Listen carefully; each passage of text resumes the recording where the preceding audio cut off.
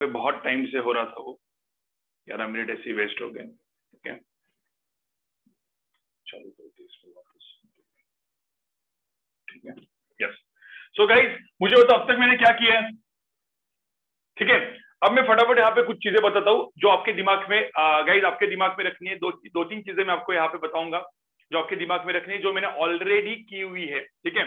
सो मैंने अब तक आपको क्या क्या पढ़ा है? इलेक्ट्रोस्टैटिक में अब तक मैंने आपको क्या क्या पढ़ाया है? इलेक्ट्रोस्टैटिक इसका मतलब होता है स्टैटिक इलेक्ट्रिसिटी मतलब रुकी हुई इलेक्ट्रिसिटी मतलब चार्ज यहाँ पे रुके हुए रहते हैं। तो रुके हुए चार्ज का इफ़ेक्ट कैसे जाता है? ठीक है? वो हम लोग यहाँ पे देखते हैं। तो ऐसे मैंने बोला था this is valid for point charges and static charges point मतलब चार्जेस पॉइंट होते हैं एंड स्टैटिक होते हैं। तो इसके लिए एकदम पहला वाला लॉ मैंने बताया था Coulomb's law that is Q1 and Q2 दो चार्जेस रहेंगे।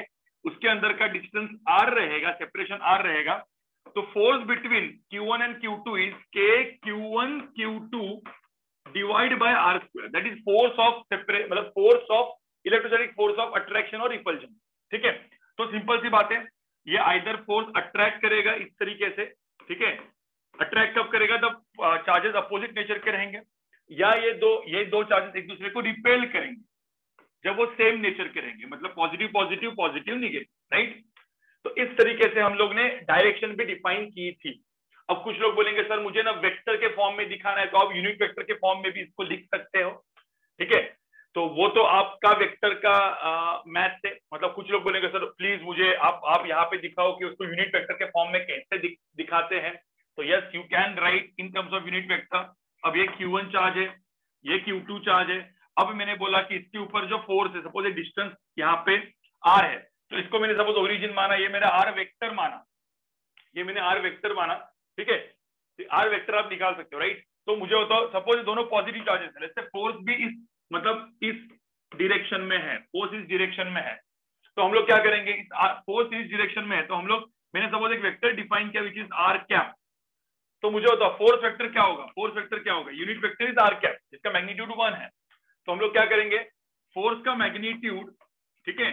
Into unit vector R cap right force का magnitude into unit vector which is R cap तो ये हो जाएगा मेरा फोर्स वेक्टर सिंपल तो ये भी एक फॉर्म रहता है। मतलब ये आपको अभी, ये जो मैं वेक्टर लिख रहा हूँ, आपका स्केलर वेक्टर अच्छा होना चाहिए right so any vector I can write मतलब इसका जो मैग्नीट्यूड है दैट इज़ एफ़ तो ये R vector into mod of F ये कर लेते थे हम लोग। तो इसको हम लोग क्या लिखते थे? K Q one Q two divide by R square ये तो मैं हमेशा लिखता हूँ यहाँ पे। देखो ना फोर्स का मैग्नीट्यूड तो K Q one Q two by R square होता था। What is R cap R cap is R vector divide by own magnitude ठीक है? तो कोई बोलेगा, सर, ये यूनिट वेक्टर के फॉर्म में लिखो yes you can write this in unit vector form ठीक है?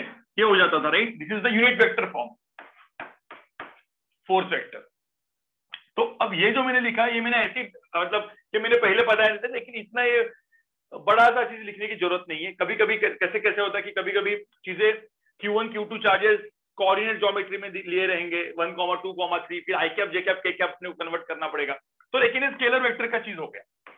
ये तो भाई एकदम स्केलर एंड वेक्टर वाला चीज़ हो गया राइट तो स्केलर एंड वेक्टर से हम लोग इस चीज़ को कर सकते हैं। बट इतना दिमाग में रखो, ये कुलोम्स लॉ था, ठीक है? यहाँ पे ध्यान में रखना this is my main Coulomb's law of attraction और रिपल्जन मतलब इलेक्ट्रिक फोर्स ऑफ़ अट्रैक्शन और repulsion K Q one Q two by R square that is force of attraction और रिपल्जन ठीक है? इतना समझ में? है तो ये था कुलोम्स लॉ उसके बाद मैंने आपको यहाँ पे बताया था, कोई भी इलेक्ट्रिक फ़ील्ड में, कोई भी इलेक्ट्रिक फ़ील्ड में मैंने सपोज़ एक इलेक्ट्रिक फ़ील्ड दिया है तो इसमें इलेक्ट्रिक फ़ील्ड वेक्टर ठीक है? अब इस इलेक्ट्रिक फ़ील्ड में मैं जब किसी चार्ज को रखता हूँ तो इस चार्ज के ऊपर फोर्स आता है।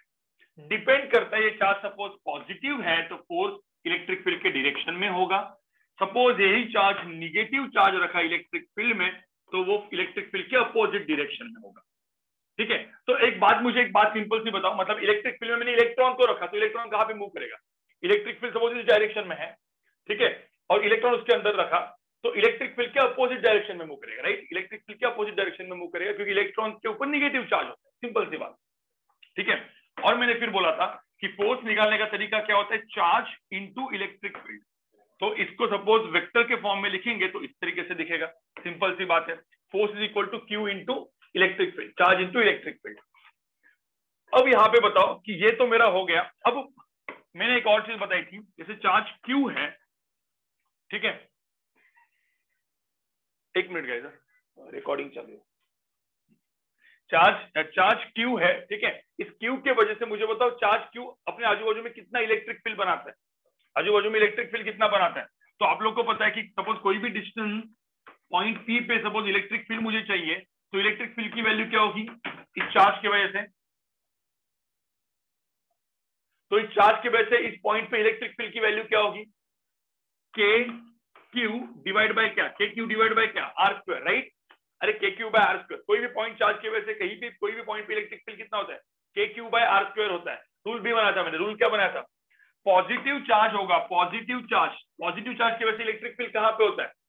अरे पॉजिटिव चार्ज की वजह से इलेक्ट्रिक फ़ील्ड क्या होता है? अवे फ्रॉम द चार्ज तो पॉइंट पी पे मुझे सपोज़ इलेक्ट्रिक फ़ील्ड निकालना है तो पॉजिटिव चार्ज होगा तो it is electric field is away from the charge इस तरीके से। ठीक है? वही चार्ज सपोज़ मैंने यहाँ पे निगेटिव चार्ज रखा। वही चार्ज सपोज़ है माइनस क्यू होता तो इस पॉइंट पे इलेक्ट्रिक फ़ील्ड क्या होता? टूवर्ड द चार्ज ये इलेक्ट्रिक फ़ील्ड वेक्टर की डायरेक्शन होती है देखो यहाँ पे मैंने ये सब लिख के रखा है राइट तो एक चीज़ बताई थी मैंने। अब इसके अंदर चार्ज रखा तो वो इलेक्ट्रिक फ़ील्ड मतलब इलेक्ट्रिक फ़ील्ड के अंदर मैंने चार्ज रखा है तो उसके ऊपर फोर्स भी आएगा, ये मेरा पिछले लेक्चर में हो चुका था। ठीक है? मतलब इलेक्ट्रिक फ़ील्ड ऑलरेडी प्रेजेंट है, उसके ऊपर मैंने कोई भी चार्ज रखा तो उसके ऊपर फोर्स आता है राइट और वो फोर्स कैसे निकालते अपन? फोर्स इज़ इक्वल टू क्या क्यू इंटू इलेक्ट्रिक फ़ील्ड ठीक है? तो वहाँ का इलेक्ट्रिक फ़ील्ड निकालो इंटू चार्ज कर लो। तो ये चीज़ हो चुकी थी बेसिक चीज़। है फिर मैंने आपको एक सिंपल सी बात बताई थी। गाइस गाइस एक सिंपल सी बात बताई थी और ये मैंने क्वेश्चन भी आपको करवाया था। ठीक है? अब यहाँ पे मतलब मैंने सपोज़ मतलब एक छोटा सा एग्ज़ाम्पल ठीक है? एक छोटा सा एग्ज़ाम्पल मैं यहाँ पे देता हूँ तो आपको समझ में आएगा। जैसे स्क्वेयर है, ठीक है? स्क्वेयर के ऊपर मैंने चार चार्जेस रखे। मैंने सपोज़ यहाँ पे रखा एक चार्ज क्यू यहाँ पे चार्ज रखा क्यू यहाँ पे चार्ज रखा माइनस क्यू और यहाँ पे चार्ज रखा टू क्यू और बोला कि ये जो सेंटर है ना सेंटर सेंटर पे मैंने और एक चार्ज रखा है सेंटर पे मैंने और एक चार्ज रखा है प्लस क्यू तो मुझे होता है इस चार्ज क्यू के ऊपर नेट फोर्स कितना होगा? ठीक है? ये जो चार्जेस जो मैंने रखे स्क्वायर के, इस मतलब स्क्वायर पे, वो सारे फिक्स्ड है। ऑल चार्जेस आर फिक्स्ड यहाँ पे सारे के सारे चार्जेस फिक्स्ड ये सारे चार्जेस फिक्स्ड है। तो हम लोग कैसे निकालते थे इस क्वेश्चन को? सॉल्व कैसे करते थे? हम क्या करते थे? चारों चार चार्जेस का एक्चुअली नेट इलेक्ट्रिक फ़ील्ड निकालते थे। गाइस नेट इलेक्ट्रिक फ़ील्ड मतलब ये क्यू के वजह से, इस टू क्यू के वजह से कहा पे? टू क्यू के वजह से इधर क्यू की वजह से इधर। ठीक है? ये क्यू के वजह से इधर, इस माइनस क्यू की वजह से भी इधर। तो नेट इलेक्ट्रिक फ़ील्ड तो यहाँ पे हम लोग क्या पहले निकालेंगे? इन चार चार्जेस की वजह से यहाँ पे net electric field E net निकालेंगे। नेट इलेक्ट्रिक फ़ील्ड कहीं पे भी हो सकता है। और फिर नेट फोर्स क्या होगा? नेट फोर्स क्या होगा? Charge into net electric field ठीक है? इसका मैग्नीट्यूड निकालना पड़ेगा सिंपल सी बात है वेक्टर से। इस तरीके से करते थे अभी निकालने की ज़रूरत नहीं मैंने एग्ज़ाम्पल दिया। तो इतना मेरा हो चुका था पहले दो लेक्चर में राइट फिर आप याद करो मैंने क्या बोला था? गाइस मैंने क्या बोला था? तीन तीन अपने वो आ, तीन अपने फॉर्मूले कंटिन्यूस चार्ज कंटिन्यूस चार्ज के तीन फॉर्मूले ज़्यादा इलेक्ट्रिक फ़ील्ड कैसे निकालते due to continuous charge continuous bodies के लिए। कौन सा कौन सा फॉर्मूला था? एक था बेसिकली ये ये था बेसिकली सपोज़ इसके ऊपर मैंने एक चार्ज रखा हुआ है, ठीक है? लैमडा ये लैमडा चार्ज है, ठीक है? लैमडा मतलब क्या? चार्ज पर यूनिट लेंथ ठीक है? मतलब एक लाइन चार्ज इसको हम लोग बोलते हैं लाइन चार्ज तो मुझे होता लाइन चार्ज के ऊपर यहाँ पे दो टाइप से इलेक्ट्रिक फ़ील्ड रहेगा। एक इलेक्ट्रिक फ़ील्ड परपेंडिकुलर रहेगा, एक इलेक्ट्रिक फ़ील्ड यहाँ पे पैरेलल रहेगा। ठीक है? और सपोज़ मैंने ये पॉइंट पी लिया तो मुझे बताओ, कैसे करते हैं अपन? ये पी ऐसे कनेक्ट करते हैं, फिर ये हम लोग देखते हैं, ये एंगल होगा थीटा वन ये एंगल होगा थीटा टू और लेते ये डिस्टेंस जो है, ये डिस्टेंस मैंने आर ले लिया तो ई परपेंडिकुलर ई पैरल की वैल्यू याद है कि नहीं आपको? ई परपेंडिकुलर ई पैरल की वैल्यू याद है आपको? ई परपेंडिकुलर की वैल्यू क्या होगी? K lambda by R sine theta one plus sine theta two एकदम बिल्कुल याद करो। ये मैं ये रिवाइज क्यों करा रहा हूँ? क्योंकि सब कुछ चीज़ें, ये सब कुछ चीज़ें मैं गाइस ये रिवाइज करा रहा हूँ क्योंकि सब कुछ चीज़ें मैं वाइवा में पूछने वाला हूँ। ठीक है? तो ई पैरल की वैल्यू क्या रहेगी? K lambda by R cos theta one ठीक है?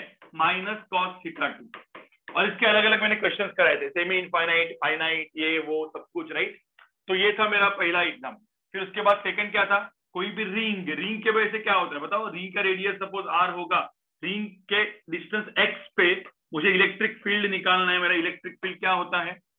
तो ये होता है K Q X divide by X square plus R square raise to three by two याद है क्या है K Q x total charge इसके ऊपर रहेगा क्यू तो K Q X X square plus R square raise to three by two दिमाग पे डाल देना। और फिर मैंने निकाली थी डिस्क डिस्क के वजह से यहाँ पे कोई भी डिस्टेंस पे सपोज़ ये एंगल मेरा फाइव नॉट है तो इलेक्ट्रिक फ़ील्ड कितना रहेगा? तो यहाँ पे जो इलेक्ट्रिक फ़ील्ड रहेगा sigma by two epsilon naught याद है? Sigma by two epsilon naught one minus cos theta naught याद है ना इलेक्ट्रिक फ़ील्ड ये तीन के वजह से इलेक्ट्रिक फ़ील्ड इसको बोलते हैं electric field due to continuous charges ठीक है? इसको हम लोग बोलते हैं सिग्मा क्या होता है? Surface charge density surface sigma होता है surface charge density charge per unit area यहाँ पे लैमडा क्या होता है? Charge per unit length right अब गाइस मैंने इधर तक क्यों बताया आपको? वापस क्योंकि ये सब चीज़ें हम लोग को गॉस लॉ में, में कुछ चीज़ें डिराइव करने वालों ठीक है? आज मैं पढ़ाने वाला हूँ गॉस लॉ ठीक है? तो गॉस लॉ में हर एक चीज़ें डिफाइन होने वाली है डिसाइड वापस होने वाली है ठीक है गाइस गॉस लॉ में चीज़ें वो होने वाली है किसी को मैं वापस एक बार देख रहा हूँ किसी को सपोज़ अपना ये करना है तो प्लीज़ हैंड रेस कर लो। कुछ कुछ लोग थोड़े से लेट ज्वाइन होते आराम से।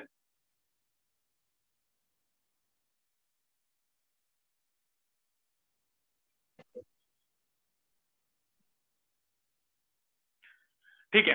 चलो तो अभी मुझे बताओ, कोई ये बोल सकता है गाइस कोई ये बोल सकता है?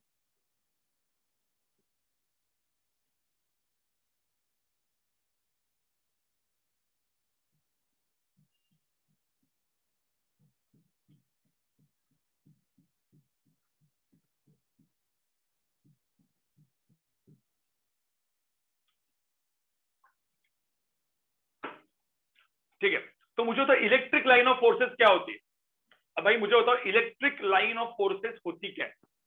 ठीक है तो मैंने क्या बोला था? What is electric line of forces electric line of forces क्या होता है पता है? कभी भी मैं सपोज़ एक ऐसे इलेक्ट्रिक मैंने बोला कि ये ऐसे electric line a electric field line बोलते अपन। ये सपोज़ इलेक्ट्रिक फ़ील्ड लाइन है। ये सपोज़ इलेक्ट्रिक फ़ील्ड लाइन है। इसका मतलब क्या है? इस लाइन के ऊपर कोई भी पॉइंट पे टेंजेंट जो होगी टेंजेंट जो होगी टेंजेंट वो मुझे हमेशा कह देगी, नेट इलेक्ट्रिक फ़ील्ड तो इस पॉइंट पे नेट इलेक्ट्रिक फ़ील्ड क्या होगा? इस पॉइंट पे ऐसे होगा। तो मैंने कुछ कुछ रूल बनाए थे। इलेक्ट्रिक फ़ील्ड लाइंस और इलेक्ट्रिक लाइंस ऑफ़ फोर्सेस, दोनों चीज़ें, दोनों वर्ड यूज़ करते हैं हम लोग। Electric lines of forces gives us net electric field right उसके बाद मैंने और क्या बताया था कि जब भी इलेक्ट्रिक फ़ील्ड लाइन अच्छा पास में होती है तो यहाँ पे इलेक्ट्रिक फ़ील्ड ज़्यादा होता है, यहाँ पे इलेक्ट्रिक फ़ील्ड कम होता है। यहाँ पे electric field E one is greater than E two magnitude wise ठीक है मैग्नीट्यूड बेसिकली ठीक है? उसके बाद मैंने एक चीज़ और बोली थी कि electric field lines can never intersect ऐसे कभी इंटरसेक्ट नहीं करेंगे, ये पॉसिबल नहीं है। ठीक है? तो कहीं इलेक्ट्रिक फ़ील्ड लाइंस मतलब क्या? इलेक्ट्रिक फ़ील्ड लाइंस बहुत सारे चार्जेस का डिस्ट्रीब्यूशन रखा है। So electric field line gives you what net electric field it gives you what net electric field ठीक है? तो मैंने कुछ कुछ कुछ कुछ डायग्राम्स बनाए थे। आपको याद है? मैंने आपको बोला था प्लस क्यू चार्ज रखा तो प्लस क्यू के वजह से इलेक्ट्रिक फ़ील्ड लाइंस एकदम मस्त ऐसे दिखेंगे। सिंपल सिंपल ऐसे ही दिखेंगे इलेक्ट्रिक फ़ील्ड लाइन।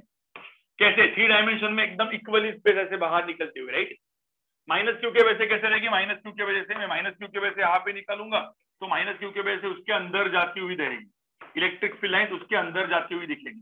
हाँ लेकिन कोई बोला, sir plus and minus charge जैसे plus Q charge and minus Q charge एकदम बाजू बाजू में रखे, ये प्लस क्यू है, ये माइनस क्यू है तो प्लस क्यू के वजह से निकलेंगी माइनस क्यू के अंदर जाएँगी। तो सारी electric field line plus Q charge से निकलेगी माइनस क्यू लाइन पे टर्मिनेट होगी। देखो, मैं, मैंने वर्ड यूज़ किया टर्मिनेट ये वर्ड बाद में भी बहुत अच्छे से यूज़ करने वाला हूँ मैं, ठीक है? तो प्लस क्यू से निकली माइनस क्यू पे टर्मिनेट होगी तो प्लस क्यू से ओरिजिनेट हुई माइनस क्यू पे टर्मिनेट हुई, ठीक है?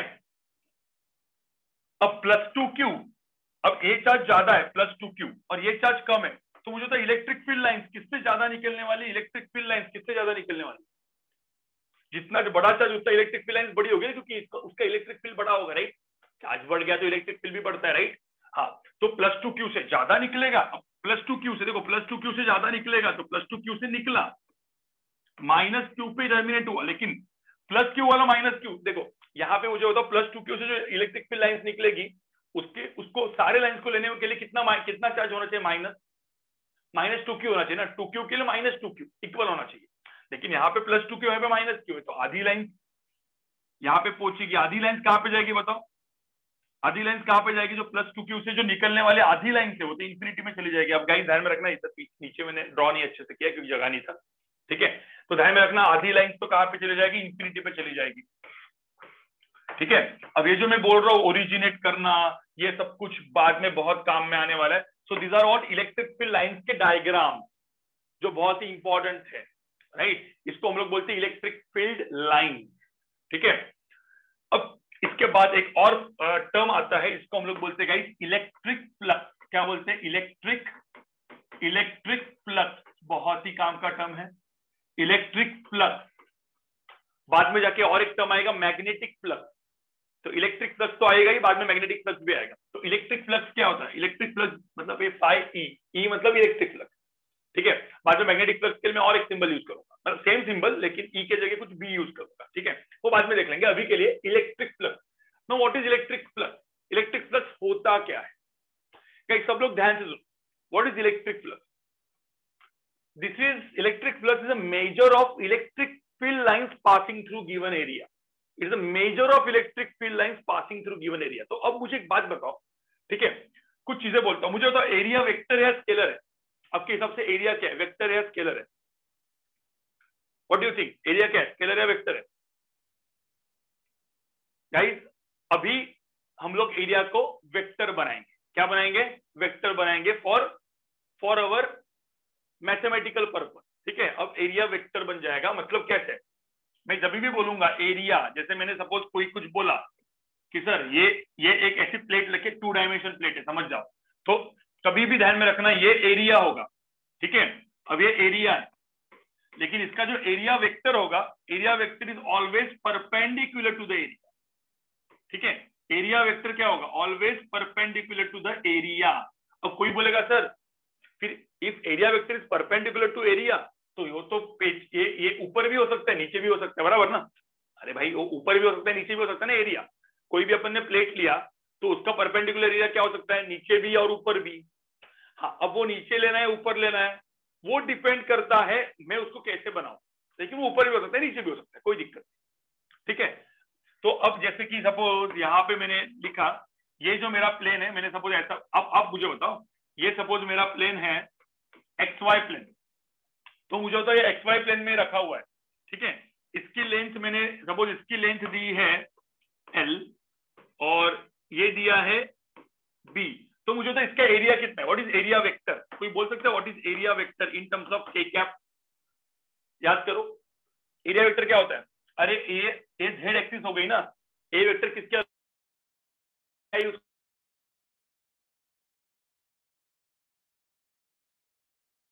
L into B is my area into K cap अब जिसको सब कुछ याद नहीं है, इसका मतलब आपका स्केलर वेक्टर भी याद नहीं है।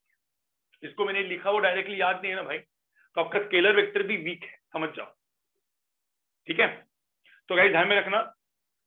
ओके एम आई लैगिंग अभी सही है?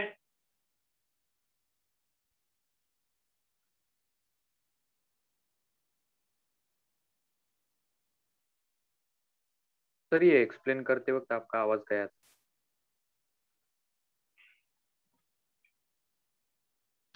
यस सर वो वेक्टर का एलपी का करके टाइम हाँ लेकिन अभी आवाज़ आ रहा है वापस प्रॉपर अभी ठीक है सर यस सर एकदम प्रॉपर है। हाँ तो अब गाइस यहाँ पे देखो सपोज़ एक्स वाई वापस गया सर अटक गई स्क्रीन सर गया आवाज़। हाँ सर लैग हुआ कभी भी हमेशा क्या होता है टू डायमेंशन ठीक है इस प्लेट का एरिया टू डायमेंशन होगा। तो उस सर वो जो हाँ बोलो। वीडियो फ्रीज हो आपकी गया आवाज़ फिर से गई। lag हुए थे एक मिनट। आप 10-15 सेकंड के लिए हैंग हो जाते हो।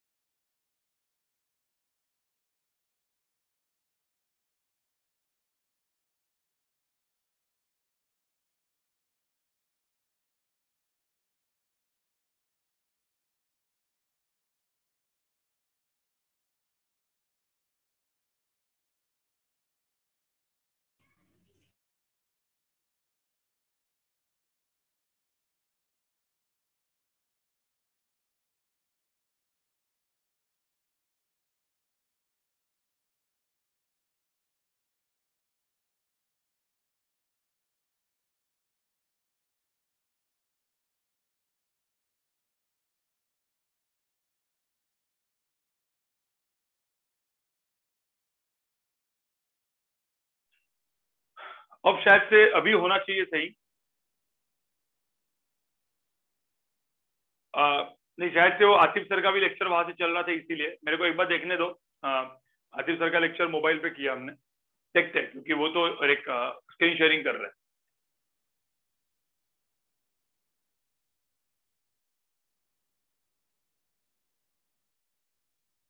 ठीक है?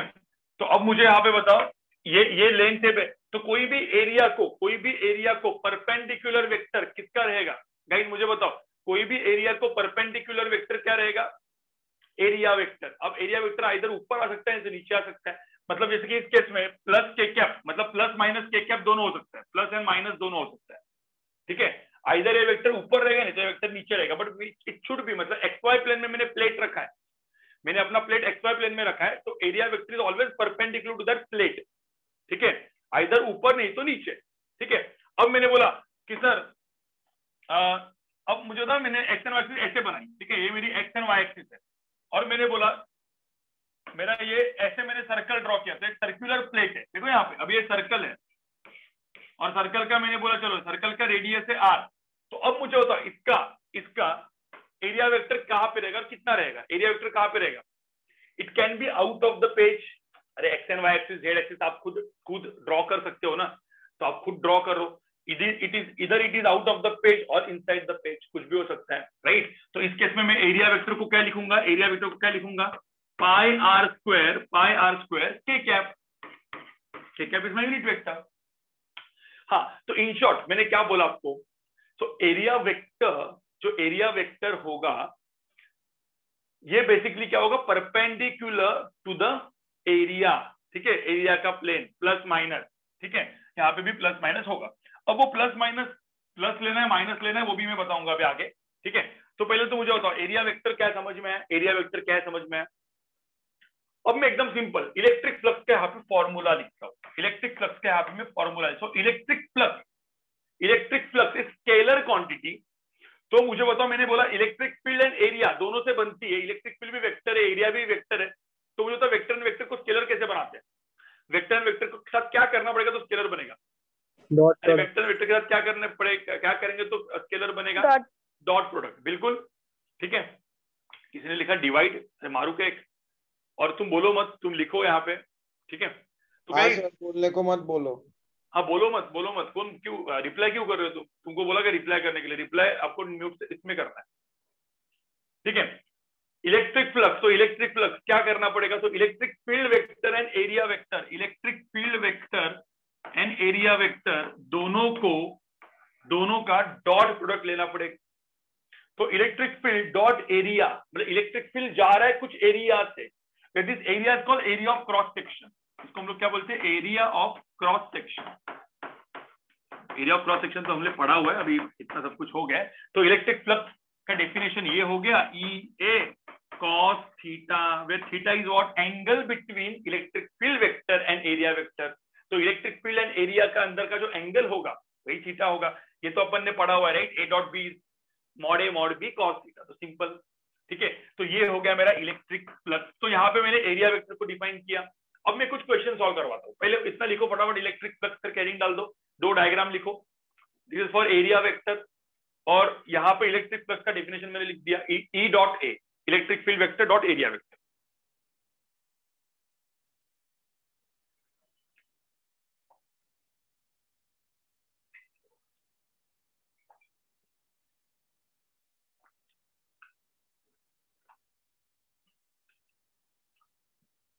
head physical meaning बताता हूँ, पहले ये तो लिख।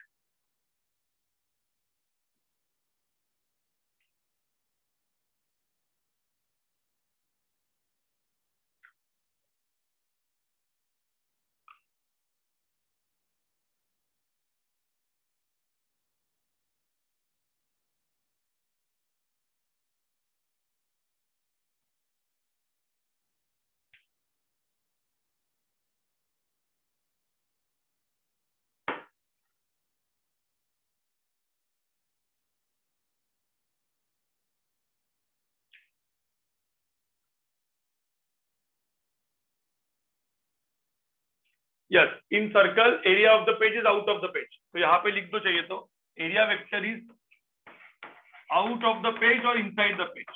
Out of the page or inside the page depend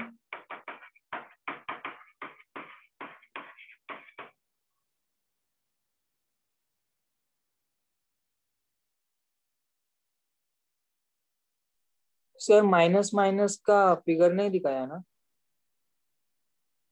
पे माइनस माइनस हाँ माइनस वेक्टर का फिगर नहीं दिखा ठीक है ना एक ही जगह पे दिखाया। हो गया गाइस हो गया लिख के। इलेक्ट्रिक फ्लक्स डिफाइन हो गया। Electric flux is what electric up up now electric flux is what electric field line passing through given area ठीक है, अब थोड़ा सा फ़िज़िकल सिग्निफिकेंस देखो इसका। ठीक है, एक काम करते फ़िज़िकल सिग्निफिकेंस थोड़ा सा बाद में देखते पहले क्वेश्चन दो दो, तीन क्वेश्चन सॉल्व करते तो आपको समझ में आएगा मैं क्या बोल रहा हूँ। ठीक है, आगे बढ़ता हूँ। ये समझ में आया? अब आगे बढ़ते हैं। एक छोटा सा एग्जांपल देता हूँ अलग अलग एग्जांपल अलग अलग केसेस ठीक है? चलो मतलब ये केसेस ही है बेसिकली एग्जांपल्स मतलब केसेस है। ठीक है ऑल दीज केसेस अब ऐसा पकड़ लो। ये इस तरीके से, अब कोई भी मैंने तो स्क्वायर शेप का मतलब ये इस शेप का लिखा है, इसकी लेंथ एल है और इसका ब्रेथ बी है एंड नाउ इलेक्ट्रिक फ़ील्ड इस डायरेक्शन में जा रहा है। ठीक है? तो इलेक्ट्रिक फ़ील्ड जो है, ये किस डायरेक्शन में जा रहा है? इलेक्ट्रिक फ़ील्ड मुझे बताओ इस केस में। It is already perpendicular to area plane of the electric field is always perpendicular to what plane of this area तो मुझे बताओ, इस केस में एरिया वेक्टर परपेंडिकुलर रहेगा पैरेलल रहेगा इलेक्ट्रिक फ़ील्ड के। पहले केस में क्या रहेगा? एरिया वेक्टर विल बी अरे भाई area is perpendicular that area का plane is perpendicular but area vector will be what parallel अब इस केस में, अब इलेक्ट्रिक फ़ील्ड ऐसे जा रहा है ना तो एरिया वेक्टर भी इस केस में क्या लेंगे? इस केस में एरिया वेक्टर भी क्या लेंगे? उसी के डायरेक्शन में। मतलब दो दो पॉसिबिलिटीज की राइट एरिया वेक्टर इस पेज के परपेंडिकुलर इस डायरेक्शन में रहेगा, नहीं तो अपोजिट डायरेक्शन में रहेगा। राइट तो अपन ने क्या किया? अभी क्या किया? इलेक्ट्रिक फ़ील्ड के डायरेक्शन में लिया। ठीक है? अब कुछ लोग बोलेंगे, सर, ऐसे क्यों नहीं लिया? मैं आपको क्वेश्चन बताऊँगा, तब आपको समझ में आएगा। ठीक है? तो अब मुझे इस केस में इस इस डायरेक्शन मिला तो एरिया वेक्टर ऐसे आएगा तो मुझे तो फ्लक्स कितना आया? पहले मुझे तो फ्लक्स कितना यहाँ फ्लक्स कितना आया? इलेक्ट्रिक फ़ील्ड एरिया तो क्या करेंगे अपन? ई डॉट ए तो ई डॉट ए मतलब क्या? ई ए कॉस थीटा कोई बोल सकते हैं इसमें थीटा कितना है? भाई, यहाँ पे जब थीटा है थीटा की वैल्यू कितनी हो गई? ज़ीरो डिग्री हो गई ना। थीटा की वैल्यू ज़ीरो डिग्री हो गई। तो cos zero is equal to one हो गया। तो इलेक्ट्रिक फ्लक्स कितना हुआ? कॉस ज़ीरो वन तो ई इंटू ए हो गया। ठीक है? क्योंकि कॉस ज़ीरो कितना होता है? थीटा की वैल्यू यहाँ पे डाल दो। ज़ीरो हो गया। ठीक है? अब एग्ज़ाम्पल टू मैं आपको बताऊँगा, आपका कंफ्यूजन भी सब दूर हो जाएगा। टेंशन मत लो। पहले यहाँ पे सब लोग देते अभी मैंने क्या किया? देखो यहाँ पे इलेक्ट्रिक फ़ील्ड मतलब क्या? इलेक्ट्रिक फ़ील्ड लाइंस ऐसे आ रही थी। These are my electric field line these my electric field line electric field lines ऐसे आ रही मतलब electric field lines they are passing through what this particular given area there are many electric field line electric field line ऐसे uniform electric field line ऐसे घुस रही थी इसके अंदर से। ठीक है? अब एग्ज़ाम्पल टू यहाँ पे देखो क्या किया मैंने। अब यहाँ पे मैंने ये जो है, ये मेरा एरिया है। देखो यहाँ पे कैसे रखा है। ठीक है? और इलेक्ट्रिक फ़ील्ड लाइन जो है, यहाँ पे भी पास हो रही है, लेकिन अब यहाँ पे मुझे बताओ इलेक्ट्रिक फ़ील्ड लाइन इसी के अंदर से पास हो रही है कि नहीं पास हो रही है? मतलब जो प्लेन है, उसी के through electric field line pass हो रही है। तो मुझे बताओ, इसमें इलेक्ट्रिक फ़ील्ड लाइंस है एरिया में? एंगल क्या है? ये हो जाएगा मेरा एरिया वेक्टर ये हो जाएगा मेरा इलेक्ट्रिक फ़ील्ड लाइन वेक्टर तो मुझे बताओ, इस केस में थीटा की वैल्यू कितनी हो जाएगी? थीटा की वैल्यू कितनी हो जाएगी? 90 डिग्री। अब मुझे तो इलेक्ट्रिक फ्लक्स कितना हो जाएगा? तो इस केस में जो इलेक्ट्रिक फ्लक्स हो जाएगा, वो हो जाएगा E A cos 90 now cos 90 is zero so it is equal to क्या? ज़ीरो सो इलेक्ट्रिक फ्लक्स क्या हो जाएगा? ज़ीरो इलेक्ट्रिक फ्लक्स हो जाएगा ज़ीरो यहाँ पे इलेक्ट्रिक फ्लक्स क्या हो जाएगा? ई ए समझ में आ रहा है? एग्ज़ाम्पल थ्री एग्ज़ाम्पल थ्री तो ये तो दो हो गया। चलो, तीसरा एग्ज़ाम्पल गाइस तीसरा एग्ज़ाम्पल हाँ एरिया को तुम लिख सकते हो area is equal to L into B अब इस केस में, दोनों केस में एरिया की वैल्यू कितनी है? एल इंटू बी है। यहाँ पे भी एल इंटू बी कर लिया एरिया कितना हो गया? एल इंटू बी वो आप डाल सकते मैंने एरिया को एरिया ही रखा अब एक, अब सपोज़ मैंने बोला कि सपोज़ ये कुछ ऐसे है, ठीक है? यहाँ पे देखो, यहाँ पे थोड़ा सा वो है और ये है मेरे इलेक्ट्रिक फ़ील्ड लाइन तो ये मेरी सपोज़ इलेक्ट्रिक फ़ील्ड लाइन है। ठीक है? अब ये मेरी इलेक्ट्रिक फ़ील्ड लाइन कुछ ऐसे जा रही है। तो इस केस में एरिया वेक्टर कैसे होगा? एरिया वेक्टर उसके अंदर क्या आ गया? थोड़ा थ्री डायमेंशन है, समझ जाओ आप लोग। ठीक है? थ्री डायमेंशन में ड्रॉ किया है। तो यहाँ पे जो एरिया वेक्टर होगा, वो एरिया वेक्टर और इसके अंदर क्या आएगा? एंगल आएगा कि नहीं आएगा? Now that angle could be anything is that angle is let's say theta तो मुझे होता है इस केस में इलेक्ट्रिक फ्लक्स कितना जाएगा? इलेक्ट्रिक फ्लक्स की वैल्यू कितनी होगी? इलेक्ट्रिक फ्लक्स की वैल्यू कितनी होगी? तो इस केस में जो इलेक्ट्रिक फ्लक्स की वैल्यू होगी that is equal to E A cos theta समझ में आ रहा है guys E A cos theta ये हो जाएगा इलेक्ट्रिक फ्लक्स तो ये तीन एग्जांपल तो एकदम बेसिक एग्जांपल मैंने बताया ठीक है? मैं अच्छे एग्जांपल दूँगा, पहले मुझे बताओ, यही समझ में इतना। इसमें कोई दिक्कत है क्या? इसमें इलेक्ट्रिक फ्लक्स ई ए इसमें इलेक्ट्रिक फ्लक्स ज़ीरो इसमें इलेक्ट्रिक फ्लक्स कितना होगा? ई ए कॉस थीटा होगा।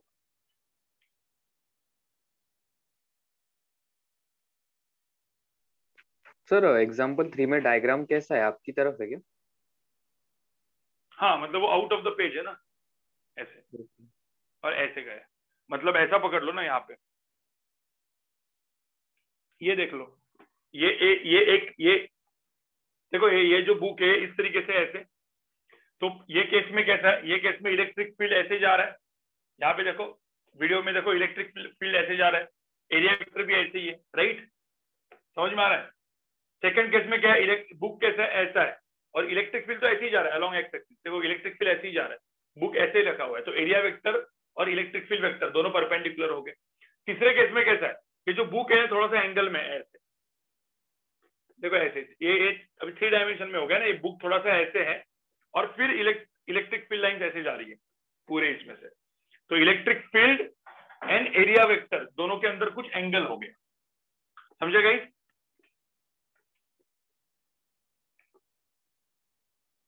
ठीक है।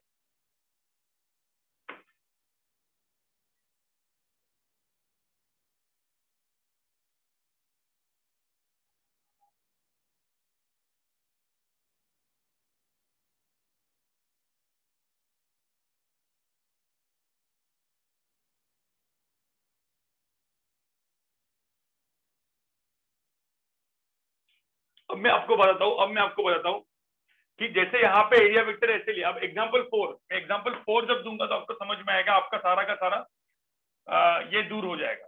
कंसेप्ट मतलब कंसेप्चुअल अंडरस्टैंडिंग आपकी सही हो जाएगी मिसकंसेप्शन दूर हो जाएँगे। ये इतना लिखा आपने इतना लिखा क्या?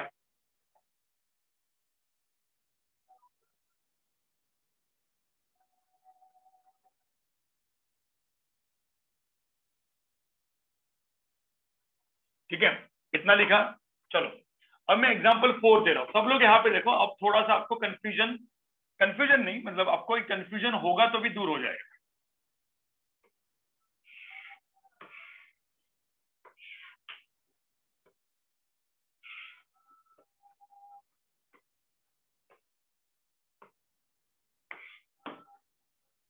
ठीक है? ये पूरा का पूरा क्यूब है।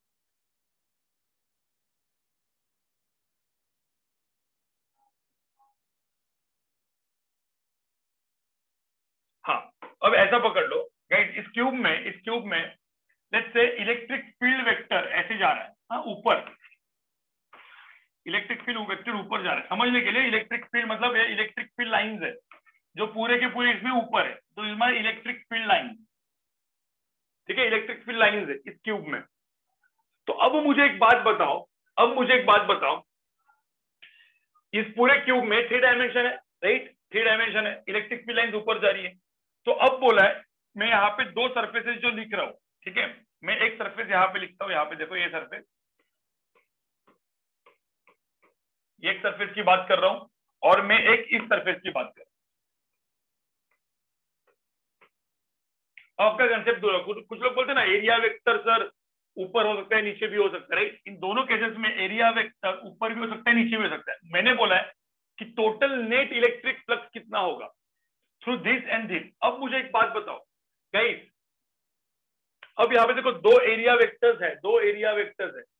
कोई बोल सकता है इसमें ऐड दोनों का ऐड होगा या एक का और दूसरे का सब्ट्रैक्ट होगा? क्या लगता है आपको? दो एरियाज़ रखे हुए हैं, दो एरियाज़ रखे हुए तो गाइस ध्यान में रखना गाइस ध्यान में रखना, यहाँ पे ऐड नहीं होगा, यहाँ पे क्या होगा? सब्ट्रैक्ट होगा। अब तुम एक चीज़ दिमाग में डालना, ठीक है? Area vector is perpendicular to area vector is perpendicular to area लेकिन वो एक ही क्लोज सरफेस के दो एरियाज़ है जिनको मैं ऑब्ज़र्व कर रहा हूँ। ठीक है? तो अब एक सिंपल सी बात है, यहाँ से देखो इलेक्ट्रिक फ़ील्ड लाइन यहाँ से अंदर घुस रही है। इलेक्ट्रिक फ़ील्ड लाइन यहाँ से बाहर निकल रही। आपको समझ में आ रहा है क्या? ये पूरा का पूरा क्यूब से यहाँ पे इलेक्ट्रिक फ़ील्ड लाइन क्या कर रही है? अंदर घुस रही है। और एक जगह पे इलेक्ट्रिक फ़ील्ड लाइन बाहर निकल रही है। इतना तो पहले मुझे तो इतना तो डिस्टिंक्शन समझ में आया। फ़ील्ड लाइन यहाँ पे अंदर घुस रही है, यहाँ पे बाहर निकल रही है। ठीक है? कहाँ पे अंदर घुस रही है बताओ मुझे। इलेक्ट्रिक फ़ील्ड लाइन कहाँ पे अंदर घुस रही है? कौन से वाले सरफेस पे? नीचे वाले सरफेस पे। तो नीचे वाले सरफेस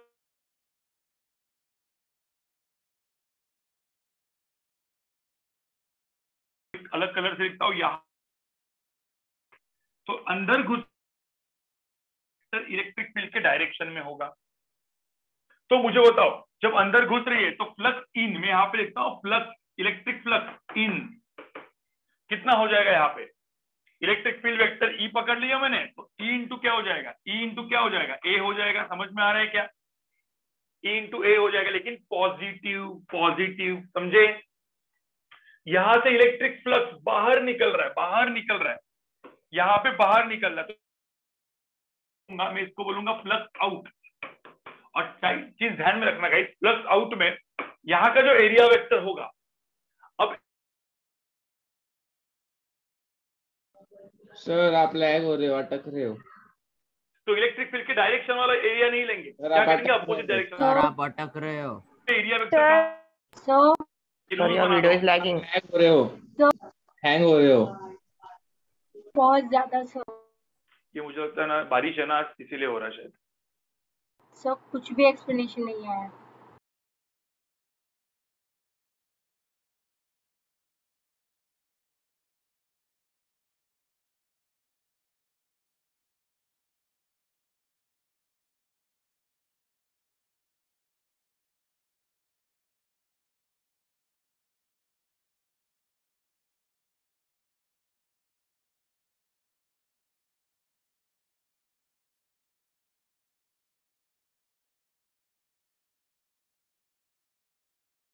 मुझे लगता है ये सब बारिश का मौसम है ना। मैं अपने मोबाइल डेटा पे जाता हूँ एक मिनट रुको मोबाइल डेटा पे जाता हूँ देखते हैं कि मोबाइल डेटा पे। अभी सपोज़ हुआ तो मैं मोबाइल डेटा पे जाऊँगा ठीक है? मतलब मोबाइल डेटा से करेंगे अपन देखते हैं। अभी अभी आवाज़ आ रहा है अभी आवाज़ आ रहा है। सही आ रहा है? हाँ सर। ठीक है। तो कहीं ध्यान में रखना जब आउट होता है देखो दो ऑप्शन हमेशा रहते हैं एरिया वेक्टर के दो ऑप्शन रहते हैं ठीक है? एक एरिया वेक्टर ऊपर रहेगा नहीं तो इस, इस देखो नीचे वाला जो बॉटम मोस्ट सरफेस है उसके लिए ऊपर रहेगा तो, तो नीचे रहेगा। ध्यान में रखना जब electric field electric flux flux electric field line घुस रही है कोई किसी जगह के अंदर घुस रही है तो इलेक्ट्रिक फ़ील्ड के डायरेक्शन में एरिया वेक्टर लेने का समझे? और इलेक्ट्रिक फ़ील्ड लाइन सपोज़ बाहर निकल रही है तो क्या लेने का इलेक्ट्रिक एरिया वेक्टर क्या लेने का अपोजिट डायरेक्शन में लेने का इतना समझ में आए तो मुझे बताओ यहाँ पे इलेक्ट्रिक फ्लक्स आउट कितना हो जाएगा? भाई इलेक्ट्रिक फ़ील्ड तो ऊपर है ना इलेक्ट्रिक फ़ील्ड ऊपर है। तो इलेक्ट्रिक फ़ील्ड लाइन ऊपर है तो और एरिया वेक्टर नीचे है तो यहाँ का एंगल कितना हो जाएगा? यहाँ पे क्या हो जाएगा? माइनस ई ए राइट यहाँ पे माइनस ई ए हो जाएगा। ठीक है, यहाँ पे एंगल 180 डिग्री हो जाएगा, यहाँ पे एंगल ज़ीरो डिग्री हो जाएगा, समझे? तो मुझे तो नेट फ्लक्स कितना व्हाट इज़ नेट फ्लक्स कोई बोलेगा फ्लक्स नेट कितना है? Flux net is equal to flux in plus flux out तो आंसर कितना हो जाएगा यहाँ पे? आंसर कितना हो जाएगा? ज़ीरो अब कहीं एक चीज़ ध्यान में रखना। ना what what electric flux gives you कोई बोलेगा, सर इलेक्ट्रिक फ्लक्स मुझे क्या देता है? तो हमेशा ये ये एग्जांपल लिख के रखो पहले एग्जांपल लिख के रखो। फिर मैं आपको बोलता हूँ what what electric flux gives you ठीक है, उसका फ़िज़िकल मीनिंग क्या है? फ़िज़िकल सिग्निफिकेंस क्या है? ठीक है, इसको लिखो, इसको ड्रॉ करो।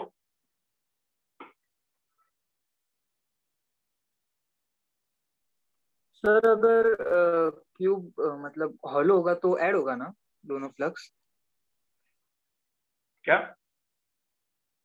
अगर क्यूब हॉलो होगा तो क्यूब हॉलो होगा हॉलो नहीं होगा कुछ भी हो ये अंदर इलेक्ट्रिक फ़ील्ड को थोड़ी पता है अंदर हॉलो है या कुछ है या हॉलो ही है पूरा का पूरा क्यूब हम लोग हम लोग एरिया ऑफ़ क्या लेते हैं? एरिया ऑफ़ क्रॉस सेक्शन लेते हैं ना। हॉलो हो या भरा हुआ हो हमेशा एरिया क्या लेगा? क्रॉस सेक्शन एरिया रहेगा। तो कोई भी क्लोज सरफेस से या कोई भी क्लोज सरफेस से जब फ्लक्स अंदर घुस रहा है और बाहर निकल रहा है ठीक है? समझ रहे तो एक में प्लस लेने का दूसरे में माइनस लेने का। ओके सर समझे? एक एक जगह पे प्लस लेने का दूसरे जगह पे माइनस साइन डालने का। तो जनरली हम लोग अभी एक अ, ये ये जो साइन कन्वेंशन उसको स्टिक रहेंगे।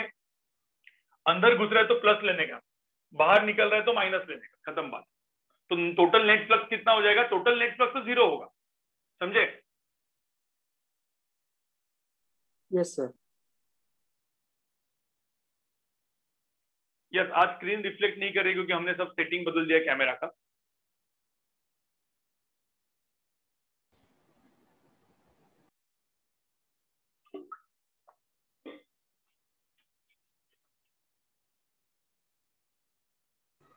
Sure, but then if we need like a sign to indicate the direction of the flux, how is it a scalar quantity still? लगता है कि काफ़ी ज़्यादा कुछ प्रॉब्लम हो रहा है क्या इसमें इंटरनेट में?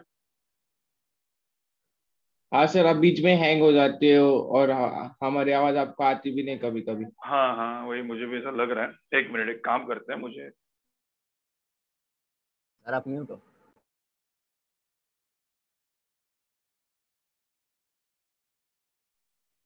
ट्राई मारते अपना जियो का नेट गई। आज एक्चुअली बारिश बहुत है ना मुंबई में बारिश बहुत है। तो बारिश वाला मौसम है इसीलिए प्रॉब्लम हो रहा है ऐसा लग रहा है मुझे इंटरनेट का।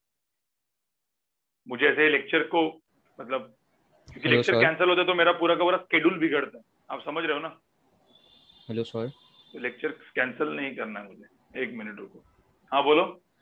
सर अगर हमें like to indicate value of flux हमें साइन की ज़रूरत लगती है like to indicate direction then how is it a scalar quantity still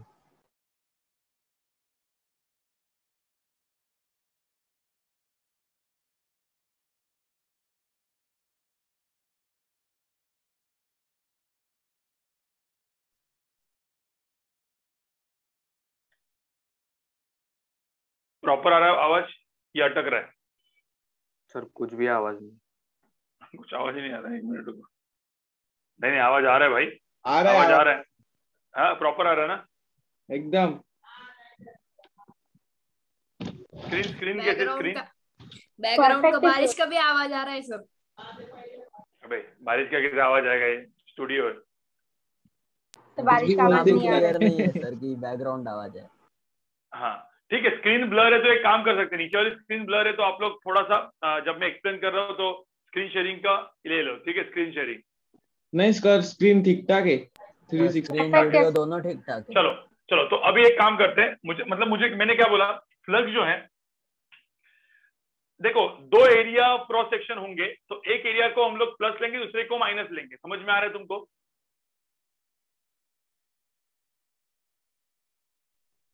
तो एक को हम लोग प्लस लेंगे, दूसरे को माइनस लेंगे। तो इस चीज़ को फॉलो करते रहो, इस चीज़ को फॉलो करते रहो। अब मैं एक सिंपल सी बात, एक क्वेश्चन पूछता हूँ। सब लोग यहाँ पे देखो, सब लोग यहाँ पे देखो। एग्ज़ाम्पल फाइव सब लोग यहाँ पे देखो, एक सिलेंडर लिया मैंने ठीक है, ऐसा सिलेंडर है। सिलेंडर का लेंथ एल है, ठीक है? और उसका रेडियस आर है। चलो, बताओ मुझे। और इलेक्ट्रिक फ़ील्ड ऐसे है।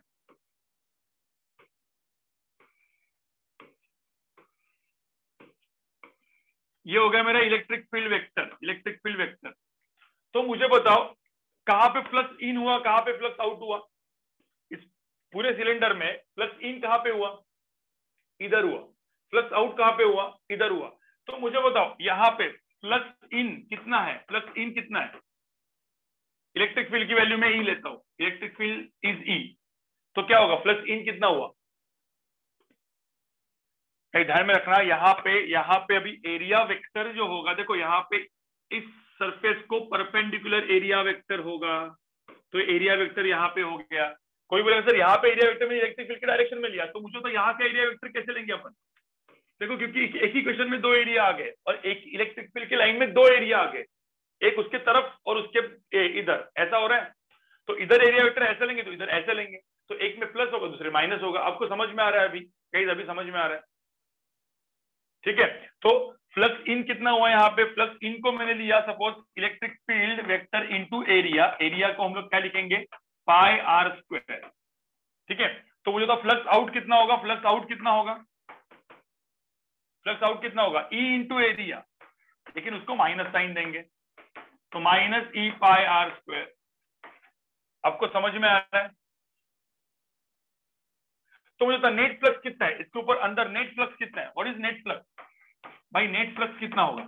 नेट फ्लक्स कितना होगा? In plus out plus in plus flux out तो आंसर कितना हो जाएगा आप ज़ीरो आंसर कितना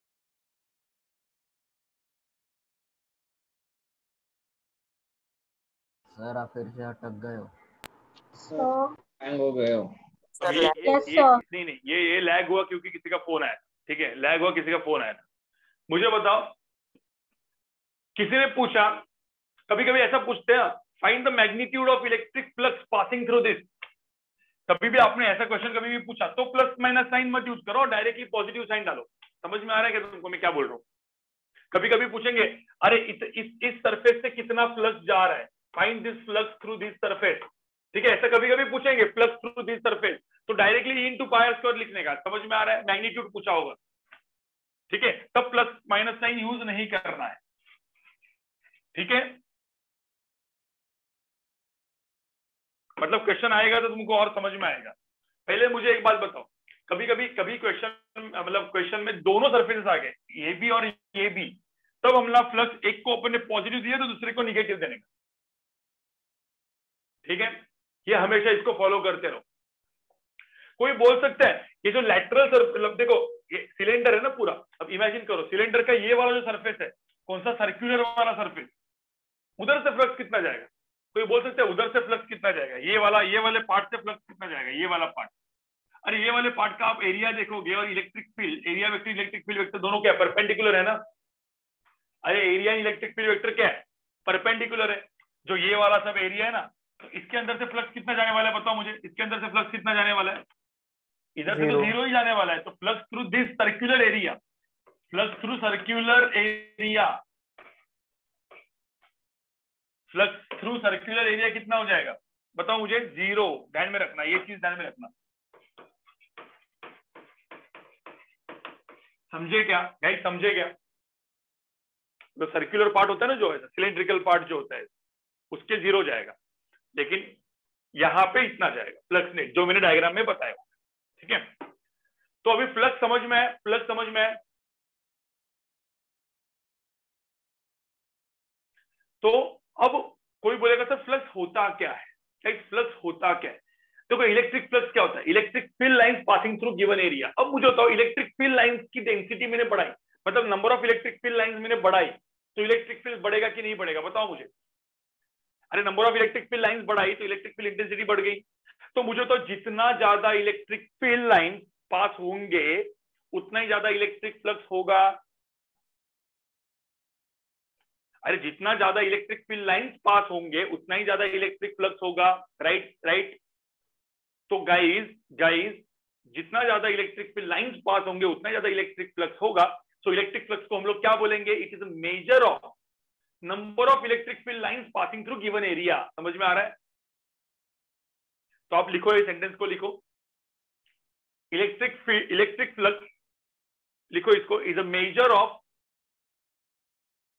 electric flux के सामने देखो। It is a measure of electric field lines it is a measure of number of electric field lines passing through given area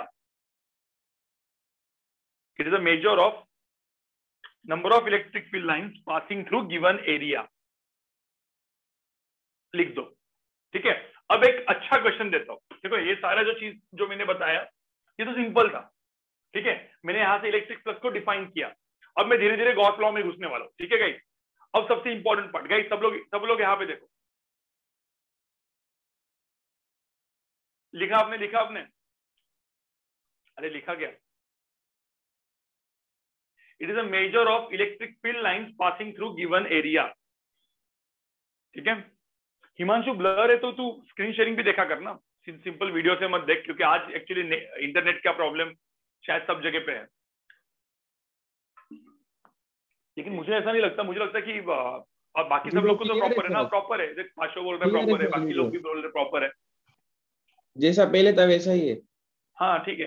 It is it is it is measure of number of electric field lines passing through given area कुछ भी लिख सकते हो कोई दिक्कत नहीं। अब चलो आगे बढ़ते गई ठीक है? आगे बढ़ते हैं। अब सब लोग यहाँ पे देखो, अब थोड़ा सा क्वेश्चन देखो एग्जाम्पल्स दिया, ये एग्ज़ाम्पल मतलब केसेस थे, ठीक है इलेक्ट्रिक फ्लक्स के। अब मैं छोटा सा एक क्वेश्चन देता हूँ, ठीक है? थोड़ा सा एक मतलब छोटा सा क्वेश्चन लेकिन अच्छा क्वेश्चन अब मुझे एक बात बताओ, मैंने कुछ ऐसे दिया, ठीक है? ये क्या चीज़ दिख रहा है? क्या दिख रहा है? हॉलो हॉलो हेमिस्फीयर क्या दिख रहा है? हॉलो हेमिस्फीयर ठीक है? कुछ ज़्यादा ही वो हो गया, लेकिन इसका रेडियस आर पकड़ लेते अब मुझे बोला है, जब मैंने इलेक्ट्रिक फ़ील्ड ऐसे गया, मेरा इलेक्ट्रिक फ़ील्ड ऐसे गया, ठीक है, मेरा इलेक्ट्रिक फ़ील्ड ऐसे गया तो अब एक बात बताओ मुझे, यहाँ पे मैंने इलेक्ट्रिक फ़ील्ड लिया तो बोले हेमिस्फेरिकल सरफेस से कितना होगा? देखो फ्लक्स थ्रू यहाँ पे दिखा है फ्लक्स इलेक्ट्रिक फ्लक्स ठीक है? इलेक्ट्रिक फ्लक्स मतलब मैग्नीट्यूड ऑफ़ इलेक्ट्रिक फ्लक्स पूछा है। थ्रू फ्लक्स थ्रू बोला है हेमिस्फेरिकल सरफेस हेमिस्फेरिकल सरफेस आपको समझ में आ रहा है मैं क्या पूछ रहा हूँ? फ्लक्स थ्रू हेमिस्फेरिकल सरफेस कितना होगा? कोई इसका फ्लक्स निकल सकता है हेमिस्फेरिकल सरफेस के थ्रू कितना फ्लक्स होगा? कोई बोल सकता है? अरे मैग्नीट्यूड पूछा है भाई। हेमिस्फेरिकल थ्रू सरफेस से कितना फ्लक्स होगा सम... पूछ सकता है। थोड़ा सा ट्रिकी क्वेश्चन है। क्वेश्चन नंबर वन बोलता हूँ। ट्रिकी क्वेश्चन है।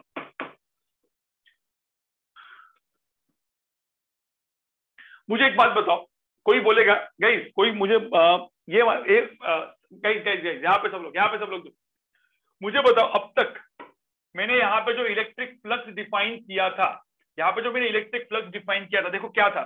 What is electric flux electric field vector dot area vector E dot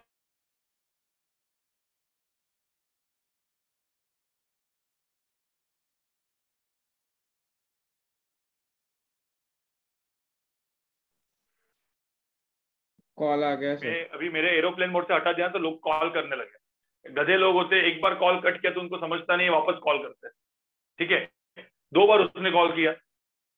अब यहाँ पे मुझे बताओ इलेक्ट्रिक फ्लक्स क्या होता है? Electric field vector dot area vector E dot A ठीक है, अब मुझे तो यहाँ पे इलेक्ट्रिक फ़ील्ड वेरिएबल है तो क्या होगा? बताओ।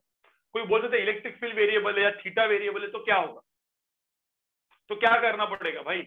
इंटीग्रेशन करना पड़ेगा जो आपको बहुत गंदा लगता है राइट इंटीग्रेशन करना पड़ेगा जो आपको गंदा लगता है। तो मुझे एक बात बताओ। सब लोग यहाँ पे, मैं भी इलेक्ट्रिक अब मैं यहाँ पे क्वेश्चन नंबर वन के पहले मैं एक्चुअल इलेक्ट्रिक फ्लक्स का डेफिनेशन यहाँ पे लिखता हूँ। सब लोग ध्यान में रखना। ये जो डेफिनेशन है ये आ, ये जो मैं आपको बोल रहा हूँ ये ये नीट वालों के लिए इतना ज़्यादा मायने नहीं रखता। लेकिन थोड़ा देख लो सीईटी वालों के लिए भी मायने नहीं रखता लेकिन स्टिल एक बार सिर्फ़ देख लो उसका यूज़ आपको आने वाला नहीं है लेकिन पता होना चाहिए। पता होना चाहिए। बोर्ड नीट एंड सीईटी वालों को पता होना चाहिए क्या है।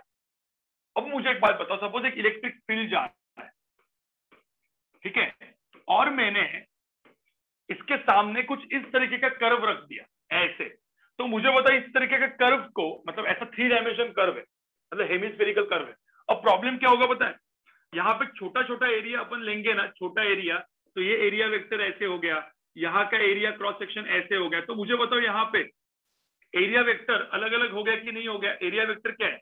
देखो एरिया वेक्टर भी अलग अलग तो एंगल इसके अंदर का थीटा इधर अलग है थीटा वन है। इधर एंगल थीटा टू है, इधर का एंगल कुछ अलग, इधर का एंगल कुछ थीटा थ्री है। तो मुझे तो एंगल बदल रहा है कि नहीं बदल रहा है? अब देखोगे तो थ्री डायमेंशन यहाँ पे इलेक्ट्रिक फ़ील्ड कांस्टेंट हो गया। देखो इलेक्ट्रिक फ़ील्ड कांस्टेंट है। लेकिन उसके बाद भी थीटा वेरिएबल एरिया और एंगल एरिया और इलेक्ट्रिक फ़ील्ड के अंदर का एंगल अलग अलग ठीक है? तो ध्यान में रखना, जब इलेक्ट्रिक फ़ील्ड या एंगल या कुछ भी कुछ भी वेरिएबल होता है तो हम लोग लिखते हैं small flux electric flux very small electric flux is what electric field vector dot very small area D A आपको समझ में आ रहा है मैंने क्या लिखा है यहाँ पे? Vector dot D A vector ठीक है? ये होता है स्मॉल इलेक्ट्रिक फ्लक्स जेई में जेई एडवांस वालों को समझना बहुत ज़रूरी है। नीट एंड सीटी वाले सिर्फ़ दिमाग में डाल सकते हैं, क्या है? ठीक है? अब मुझे बताओ मेरा फिर फ्लक्स क्या रहेगा? अरे मेरा फ्लक्स रहेगा। इसका बेसिकली क्या? Integration so integration of this is my flux तो मेरा फ्लक्स क्या रहेगा? इंटीग्रेशन ऑफ़ ये इज़ इक्वल टू क्या? Integration of E vector dot D A vector ठीक है? तो मेरा फ्लक्स का एक्चुअल डेफिनेशन क्या है? मेरा इलेक्ट्रिक फ्लक्स का एक्चुअल डेफिनेशन है E D A cos theta समझे गाइस तो ये मेरा इलेक्ट्रिक फ्लक्स का एक्चुअल डेफिनेशन है। यहाँ पे ध्यान में रखना, ये कब हम लोग यूज़ करेंगे? When electric field electric field area theta के मतलब एरिया uh, के अंदर का सपोज़ एंगल बदल रहा है कुछ भी इफ़ एनीथिंग इज़ वेरिएबल कुछ भी चीज़ वेरिएबल होगी तब ठीक है? तो इसको लिखो आप लोग this will use for variable thing right integration of EDA cos theta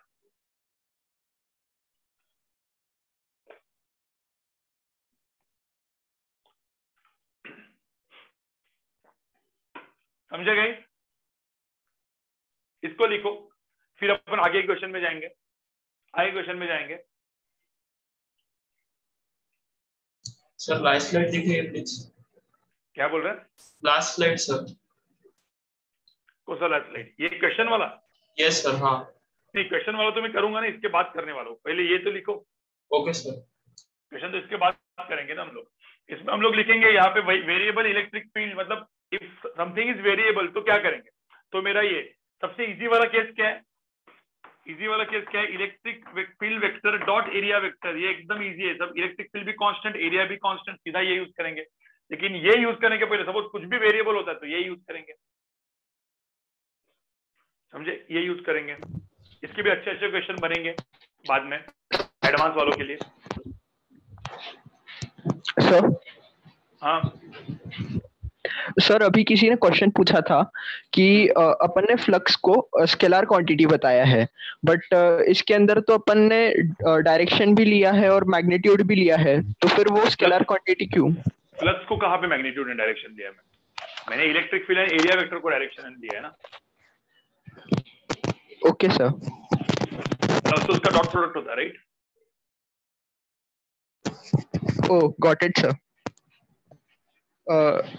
okay sir सोच ले, समझ में आ जाएगा। खुद ही खुद ही आंसर कर लेंगे। तो गाइज़ यहाँ पे अभी मुझे एक बात बताओ। चलो, मैं, मुझे एक छोटा सा क्वेश्चन में पूछता हूँ। अभी एक, ये क्वेश्चन सॉल्व करने के पहले, ये क्वेश्चन सॉल्व करने के पहले, मुझे एक बात बताओ।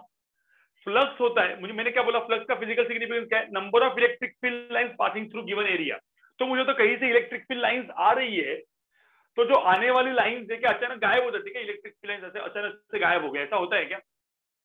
तो कहीं कोई सपोज़ कोई क्रॉस सेक्शन में सपोज़ कुछ घुस रहा है, एक लाइन घुस रही है तो उतनी ही लाइन बाहर निकलेगी कि नहीं निकलेगी?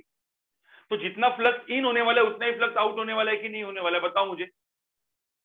तो जितना फ्लक्स इन होगा, उतना ही फ्लक्स आउट होगा। अब एक्चुअल में आप देखोगे, इस क्वेश्चन में, ये क्वेश्चन मैंने बोला क्वेश्चन नीट में भी आ सकता है।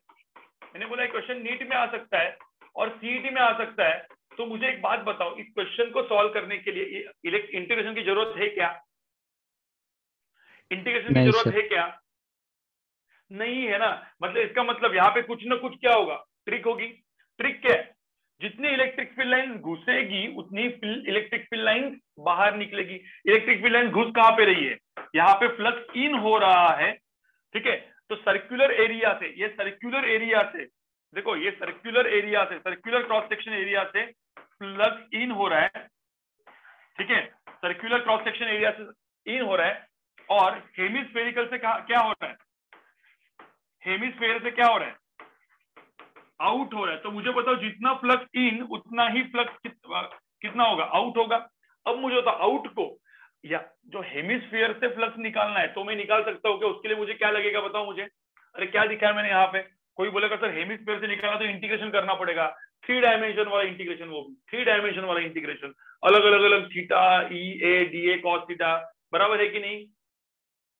तो मुझे बताओ, यहाँ पे flux in flux in easy है फ्लक्स आउट इजी है यहाँ पे क्या इजी है फ्लक्स इन इजी है या फ्लक्स आउट इजी है फ्लक्स इन इजी है। तो फ्लक्स इन की वैल्यू कितनी है भाई? फ्लक्स इन की वैल्यू कितनी है? Electric field dot area vector यहाँ पे जो एरिया वेक्टर होगा गाइस ध्यान में रखना, यहाँ पे जो एरिया वेक्टर होगा, वो area vector electric field vector दोनों पैरल है। और इलेक्ट्रिक फ़ील्ड इनटू एरिया कर देंगे अपन एरिया की वैल्यू क्या हो जाएगी? पाई आर स्क्वायर हो जाएगी।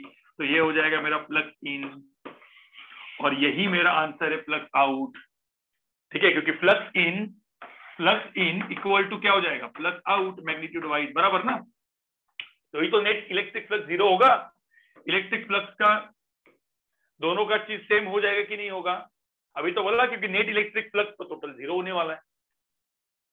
समझे गाइस तो ये क्वेश्चन किससे सॉल्व किया अपन ने? टोटल फ्लक्स जो अंदर घुसता है उतना ही फ्लक्स बाहर निकलता है उससे सॉल्व कर दिया। राइट गाइस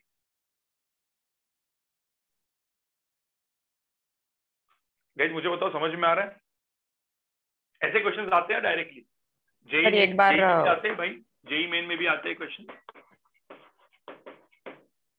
ठीक है? हम्म, बोलो। ये जो flux out through hemispherical area इसको एक बार इंटीग्रेशन से करके दिखाओगे? सेम आंसर कर करते रहना तू घर पे। ओके मतलब पूरा दिन और रात निकाल देना। चलो अब आगे आगे आगे करते भाई। आगे करते हैं। आगे बढ़ते हैं।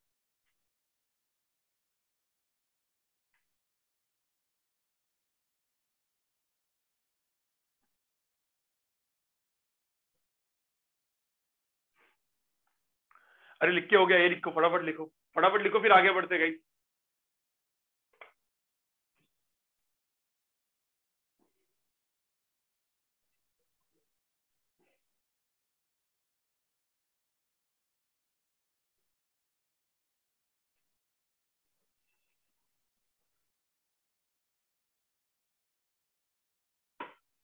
अब मुझे एक बात बताओ क्वेश्चन नंबर टू अब मुझे एक बात बताओ, इसी में इसी में इसी में मैंने ये तो सेम रखा। लेकिन यहाँ पे कोई भी टाइप का ऐसे ऐसे ऐसे ऐसे ऐसे सरफेस बनाए। कुछ फ़र्क पड़, पड़ेगा क्या बताओ मुझे? और मैंने बोला ये ऐसे रैंडम सरफेस से मुझे बोला है कि ये इलेक्ट्रिक प्लग जा रहा है। ठीक है इलेक्ट्रिक इलेक्ट्रिक फ़ील्ड लाइन ऐसे जा रही है।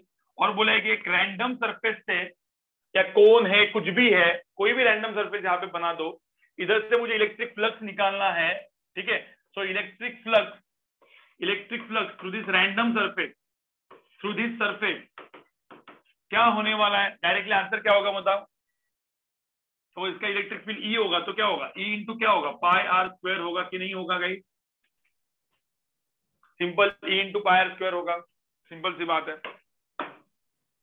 चलो, अब आने वाला अपना मेन अब आने वाला अपना मेन ठीक है? क्या है वो मेन देखते हैं। आगे बढ़ते गई आगे बढ़ते गई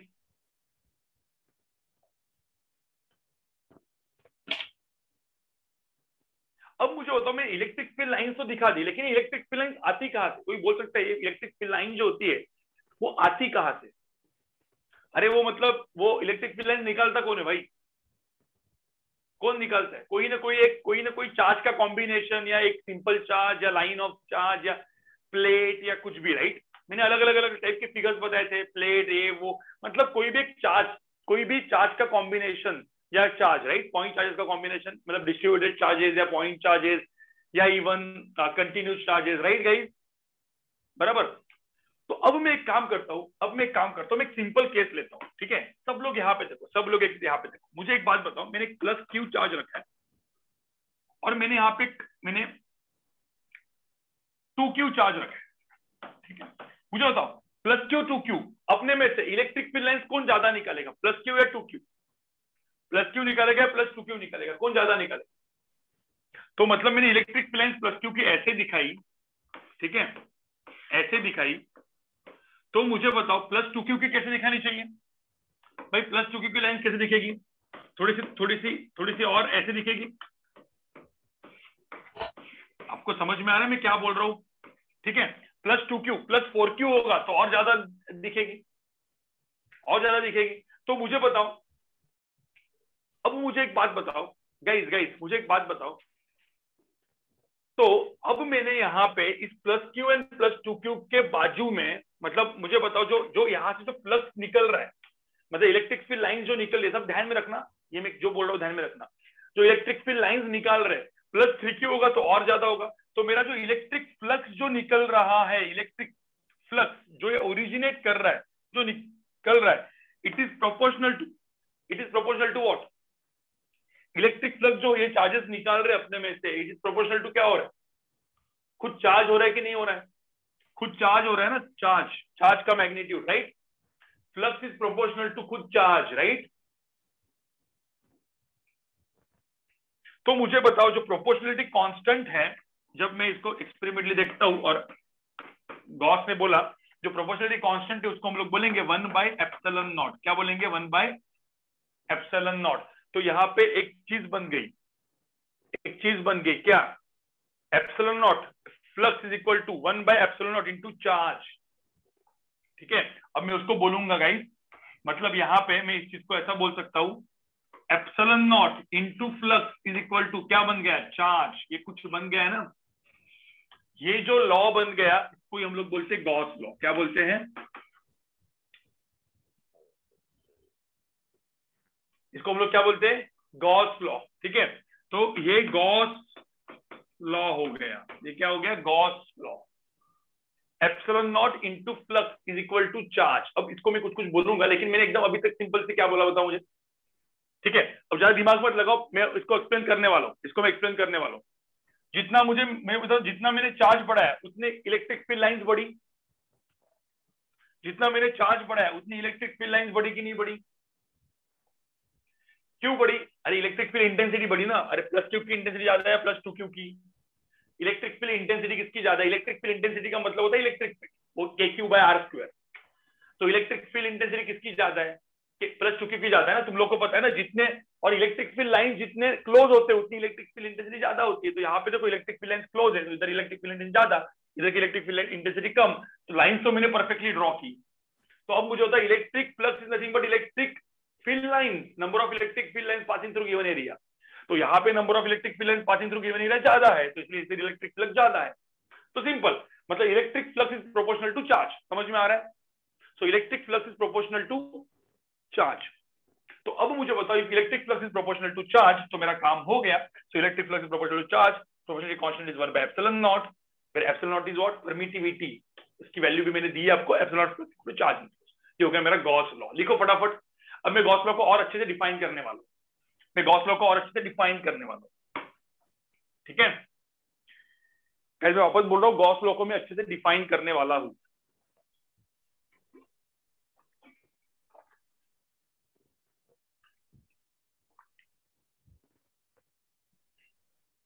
मैं गॉस लॉ को अच्छे से डिफाइन करने वाला हूँ।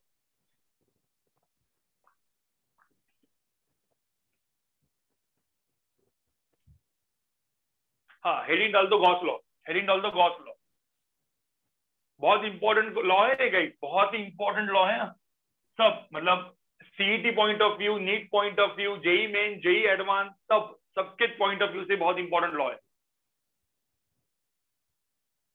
सबके पॉइंट ऑफ़ व्यू से बहुत इंपॉर्टेंट लॉ है गाइस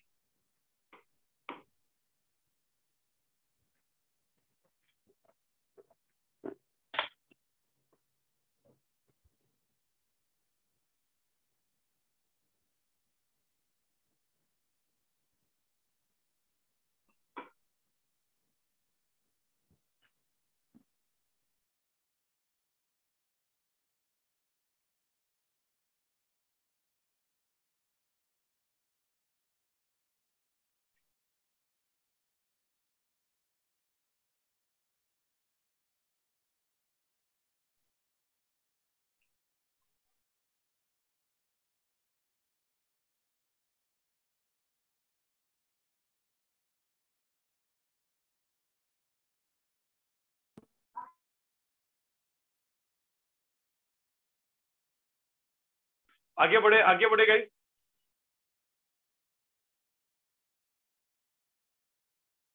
चलो। अब मुझे एक बात बताओ गॉस लॉ मैंने दिखा है epsilon naught into plus is equal to charge enclose नहीं Dhruv intensity of electric field अलग होता है फ्लक्स अलग होता है। ठीक है? अब यहाँ पे सुन अच्छे से। Electric field intensity is nothing but electric field जो इलेक्ट्रिक फ़ील्ड हम लोग बोलते हैं ना kq by square it is nothing but electric field intensity electric flux अलग होता है it is a number it is measure of number of electric field lines passing through given area ये होता है इलेक्ट्रिक फ्लक्स अब दिमाग में डाल, ठीक है?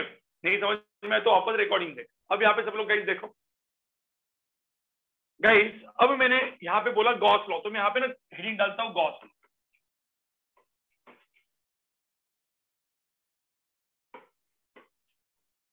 एक minute sorry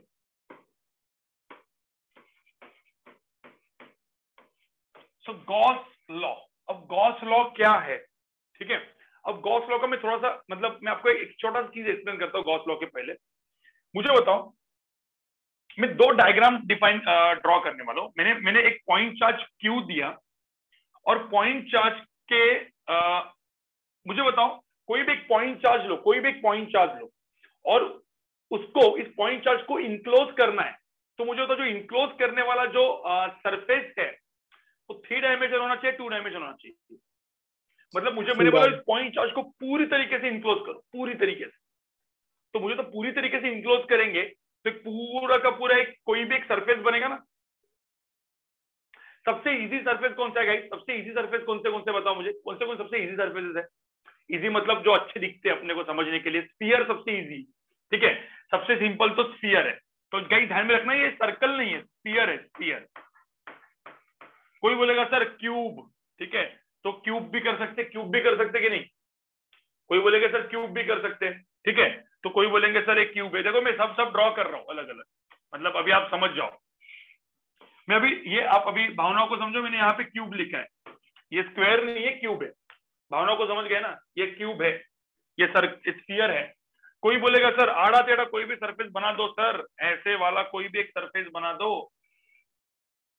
ठीक है? अब यहाँ पे कितने सरफेस मैंने लिखे? ये सारे के सारे, ये एनी सरफेस एनी सरफेस ठीक है? अब मुझे बताओ, ये सारे के सारे सरफेसेस थ्री डायमेंशन सरफेस है। थ्री डायमेंशन सरफेस इन सारे सरफेसेस ने इस चार्ज को क्या किया है? इंग्लिश वर्ड क्या है? इनक्लोज किया है इनक्लोज अरे इन सारे सरफेसेस ने इस चार्ज को क्या किया इनक्लोज किया है। ठीक है इनक्लोज है, बराबर। अब मुझे एक बात बताओ ये चार्ज अपने में से क्या निकालता है? ये चार्ज अपने में से ध्यान में रखना, एकदम बहुत इंपॉर्टेंट चीज़ है। चार्ज अपने में से क्या निकालता है? क्या निकालता है? इलेक्ट्रिक फ़ील्ड लाइन निकालता है। अब इलेक्ट्रिक फ़ील्ड लाइन से वर्ड नहीं यूज़ करेंगे। अभी अपन थोड़े से ऊपर आ गए। अपन अभी क्या बोलेंगे? इलेक्ट्रिक फ्लक्स बोलेंगे। क्या बोलेंगे? इलेक्ट्रिक फ्लक्स अरे भाई इलेक्ट्रिक फ़ील्ड तो बहुत पहले था। इलेक्ट्रिक फ़ील्ड के बाद इलेक्ट्रिक फ़ील्ड लाइंस हो गए। इलेक्ट्रिक लाइन्स के बाद अपन ऊपर आके इलेक्ट्रिक प्लस में पहुँच गए। तो यहाँ पे क्या निकलने वाला है? एक अपना चार्ज एक चार्ज अपने में से क्या निकालता है? इलेक्ट्रिक फ्लक्स निकालता है। मतलब इलेक्ट्रिक फ़ील्ड लाइन्स निकालता है इन समझ समझ अब मुझे बताओ, अब मुझे बताओ, क्या ये जो इलेक्ट्रिक फ्लक्स निकालने वाला है, ये ऐसा जो इलेक्ट्रिक फ्लक्स निकालने वाला है, मुझे बताओ, कोई भी सरफेस से, कोई भी सरफेस से आप इसको देखोगे मतलब स्फीयर से देखो क्यूब से देखो, कहीं से भी देखो, ये फ्लक्स उतना ही रहेगा या बदलते जाएगा? क्या? ऐसे एक दो लाइन के अंदर गायब हो जाते हैं क्या? जाते जाते अंदर गायब हो जाते हैं क्या? तो मुझे बताओ flux through sphere flux through cube flux through that random surface जो एनी रैंडम सरफेस जो मैंने बोला है, ये सब जगह पे, मुझे बताओ, सब जगह पे जो फ्लक्स रहेगा, वो सेम ही रहेगा? अरे सेम रहेगा कि नहीं रहेगा? ठीक है, अब सपोज़ वो फ्लक्स सेम रहेगा, ठीक है? अब ध्यान में रखना, जो मैंने यहाँ पे बोला तो वो जो फ्लक्स सेम रहेगा, उसको हम लोग बोलेंगे पाई तो हम लोग ने गॉस लॉ को क्या डिफाइन किया? Epsilon naught into flux is equal to is equal to charge enclose अब यहाँ पे मैंने चार्ज इनक्लोज लिख दिया, अब बाद में ई एन लिखेंगे शॉर्ट फॉर्म ऐसा लिखेंगे। Epsilon naught into flux is equal to क्या लिखेंगे? चार्ज इनक्लोज ठीक है? और ये जो मैंने सरफेसेस ड्रॉ किए ठीक है, आप में से कुछ कुछ लोग क्या बोलेंगे, सर, मुझे ना क्यूब अच्छा लगता है। तो तुम क्यूब ड्रॉ करो क्यूब के अंदर से भी उतना ही फ्लक्स जाएगा। कोई बोलेगा, सर, मुझे स्फीयर ड्रॉ करना है। तो स्फीयर ड्रॉ करो, उधर से भी फ्लक्स उतना ही जाएगा। कोई बोलेगा, सर आड़ा टेढ़ा सरफेस ड्रॉ करना है। कोई भी रैंडम सरफेस वो ड्रॉ करो। तो गाइस ये ये जो सरफेसेस है, ये एक्चुअल में होते हैं क्या? ये हम लोग इमेजिन करते हैं। अरे भाई, ये क्यूब ब्यूब तो अपन ने इमेजिन किया है। तो ये सारे के सारे कौन से सरफेस हो गए? इमेजिनरी सरफेस हो गए इमेजिनरी इमेजिनरी है। ये एक्चुअल में नहीं है तो अपन अपने हिसाब से बनाते जिसको जो अच्छा लगता है वो बना देता है। तो ये सारे सरफेसेस इमेजिनरी सरफेसेस है। मैं यहाँ पे बोलता हूँ, इसको मैं लिखता हूँ इमेजिनरी सरफेसेस ये सारे के सारे इमेजिनरी इनक्लोज सर्फेसेस है। अब क्या इमेजिनरी इनक्लोज सर्फेस जो मैंने बनाए हैं, अब ये गॉस का है ना तो उसको हम एक नाम देंगे। उसको एक नाम देंगे। उसको हम नाम देंगे भाई, क्योंकि इमेजिनरी सरफेसेस है। लेकिन हम लोग गॉस में यूज़ कर रहे हैं। तो उसको हम लोग नाम देंगे गौशियन सरफेस। क्या बोलेंगे इसको अपन? Gaussian surface. क्या बोलेंगे? Gaussian surface.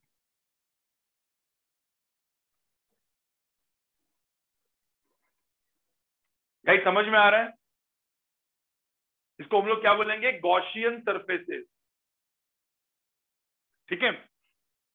जो इमेजिन सरफेस मैंने ड्रॉ किया है इमेजिनरी क्लोज इनक्लोज सरफेस जो मैंने ड्रॉ किया, उसको हम लोग बोलेंगे गॉशियन सरफेस गॉशियन सरफेस लिख लो। ठीक है? गाइस एक एक पंगा मैंने सब जगह पे किया है और आपने वो पंगा मान लिया। मैं हमेशा ना स्पेलिंग उल्टा लिखने जाता था मैं। गाइस अभी मैंने प्रॉपर तरीके से नोट किया। ये जी ए यू नहीं है जी यू ए है। ठीक है? G U A sorry guys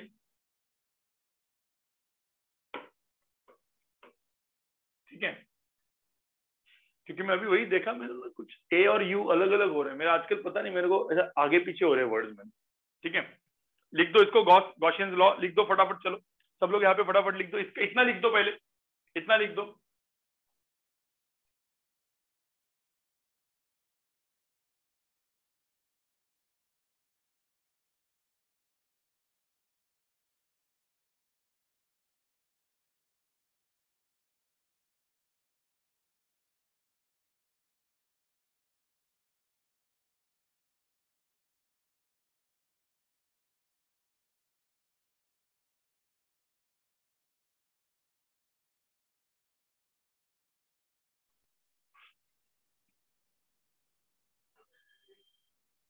मैंने वापस वो मिस्टेक कर दी। बराबर जी ए यू है गॉसी है लिख दो, लिखो। लिखते रहो गाइस आपको पहले मुझे बताओ, जो मैंने बताया वो समझ में आ रहा है क्या?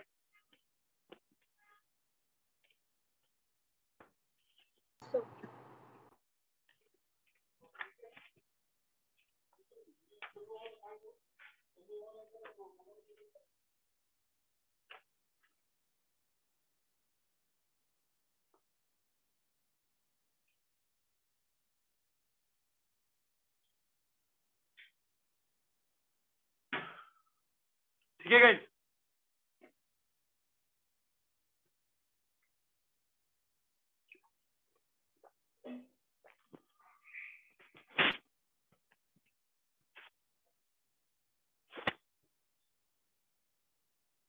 चलो पहले एक आ, देखो ये प्लस क्यू चार्ज है तो यहाँ से बाहर निकले। मुझे बताओ पहले इतना समझ में आ रहा है सबको? जो मैंने अभी यहाँ पे आपको बताया वो समझ में आया कि नहीं आया? पहले वो बताओ चलो। जो भी इमेजिनरी सरफेस मैंने ड्रॉ किया उसके बाजू में, उसको हम लोग बोलेंगे गॉशियन सरफेस और उसमें क्या लिखेंगे? Epsilon into plus equal to charge enclose charge enclose right ठीक है guys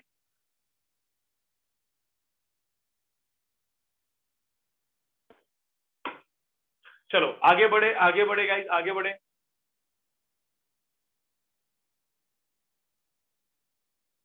Epsilon plus equal to charge enclose आगे बढ़े।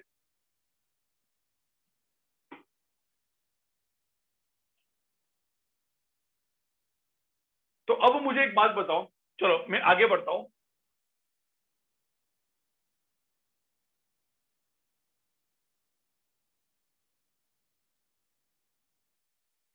अब मुझे मैं एक एक बात बताता हूँ, ठीक है? एक छोटा चीज़। गॉस लॉ क्या है? गॉस लॉ क्या है? कोई बोलेगा, सर गॉस लॉ क्या है? गॉस लॉ क्या है? दिमाग में रखना। Epsilon naught flux equal to charge enclose क्या बोला मैंने? Epsilon naught flux equal to charge enclose तो मैं यहाँ पे लिखता हूँ epsilon naught into plus is equal to charge enclose ठीक है? तो चार्ज इनक्लोज इस तरीके से लिख देता हूँ मैं, ये हो गया मेरा गॉस ठीक है? अब मैं दो क्वेश्चन दे रहा हूँ। ये क्वेश्चन इन दो केसेस में case one and case two चलो। क्वेश्चन नहीं case one and case two फ़र्क क्या है मुझे बताओ? फ़र्क क्या है? ठीक है? What is difference between this two cases ये मुझे आपको बताना है। ठीक है? किसी का कुछ माइक चालू है क्या भाई? देवश्री? माइक बंद करो। ठीक है, यहाँ पे देखो case one and case two अब यहाँ पे देखो, इसमें फ़र्क क्या, उसमें फ़र्क क्या? लेट्स से ये मैंने लिखा, ये एक स्फीयर है स्फीयर ठीक है? और इस स्फीयर के अंदर मैंने एक पॉइंट चार्ज क्यू रखा है? ठीक है? यहाँ पे भी एक स्फीयर है, लेकिन यहाँ पे कोई पॉइंट चार्ज नहीं है, यहाँ पे कोई इलेक्ट्रिक फ़ील्ड और वो electric field uniform electric field इस तरीके से कहीं से तो आया है। ये इस पूरे स्फीयर से जा रहा है। मतलब समझ जाओ ना मतलब यूनिफॉर्म इलेक्ट्रिक फ़ील्ड में ये एक ऐसा स्फीयर रखा है। दोनों में, मुझे बताओ, दोनों में नेट फ्लक्स कितना होगा स्फीयर के थ्रू दोनों में नेट फ्लक्स कितना होगा स्फीयर के थ्रू बोल सकते ये क्वेश्चन बहुत ही अच्छा क्वेश्चन है गाइस मतलब ये क्वेश्चन आपको समझ में तो आपका, आपको समझ में आ जाएगा फ्लक्स क्या है। दोनों में नेट फ्लक्स कितना होगा? Through flux through sphere guys दोनों में what is net flux through sphere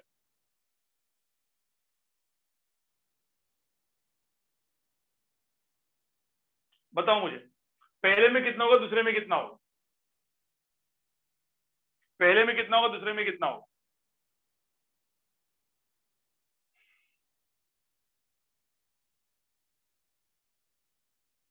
चलो, एक बात बताओ। सेकंड में तो कंफर्म ज़ीरो है। कहीं सेकंड में कंफर्म ज़ीरो है? सेकंड में कंफर्म ज़ीरो है? सेकंड में कंफर्म ज़ीरो है। पहले में कितना होगा? देखो सेकंड में तो जितना फ्लक्स इन हो रहा है, उतना ही फ्लक्स आउट हो रहा है। तो जितना इनसाइड में फ्लक्स है, उतना ही आउट गया तो ज़ीरो हो गया। फ़र्स्ट में कितना होगा? फ़र्स्ट में। फ़र्स्ट में कितना होगा? वापस देखो सारे आंसर फ़र्स्ट में कितना होगा?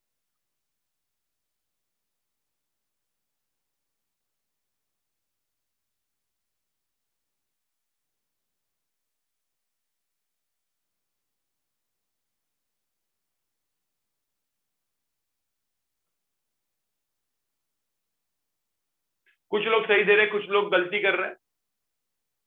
गाइस दिमाग लगाओ थोड़ा सा भाई, दिमाग लगाओ। मुझे एक बात बताओ सेकंड में मैंने गॉस लॉ क्या बोला था? अरे गॉस लॉ क्या बोला था? अरे, ये इधर से निकलने वाला, मुझे बताओ, कोई भी चार्ज अपने में से कितना फ्लक्स निकालता है? अरे, कोई भी चार्ज अपने में से कितना फ्लक्स निकालता है?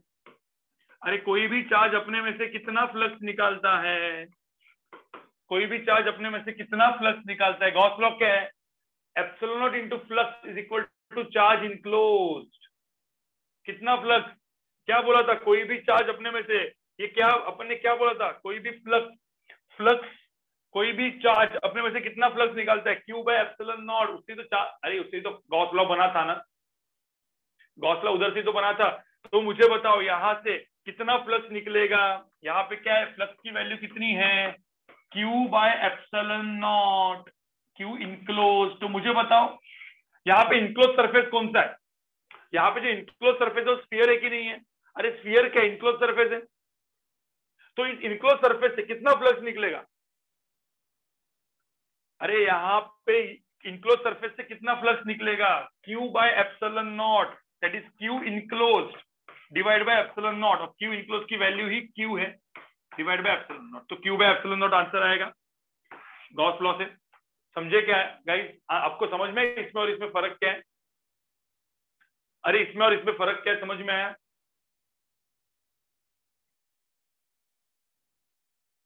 अरे प्लस क्यू प्लस क्यू होगा तो बाहर निकलेगा। माइनस क्यू होगा तो प्लस के अंदर आ रहा है इसे मतलब प्लस का मैग्नीट्यूड तो क्यू बाय एप्सिलॉन नॉट ही रहेगा ना। Whether this charge is plus और minus it doesn't matter plus के वजह से बाहर प्लस निकलेगा, अंदर, इसके वजह से माइनस अंदर आएगा। ठीक है, मैं आपको क्वेश्चन दूँगा तो आपको समझ में आएगा। पहले मुझे होता इतना समझ में आया इतना समझ में आया क्या? पहले बताओ। अरे, ये समझ में आया प्लस कितना बाहर निकलेगा?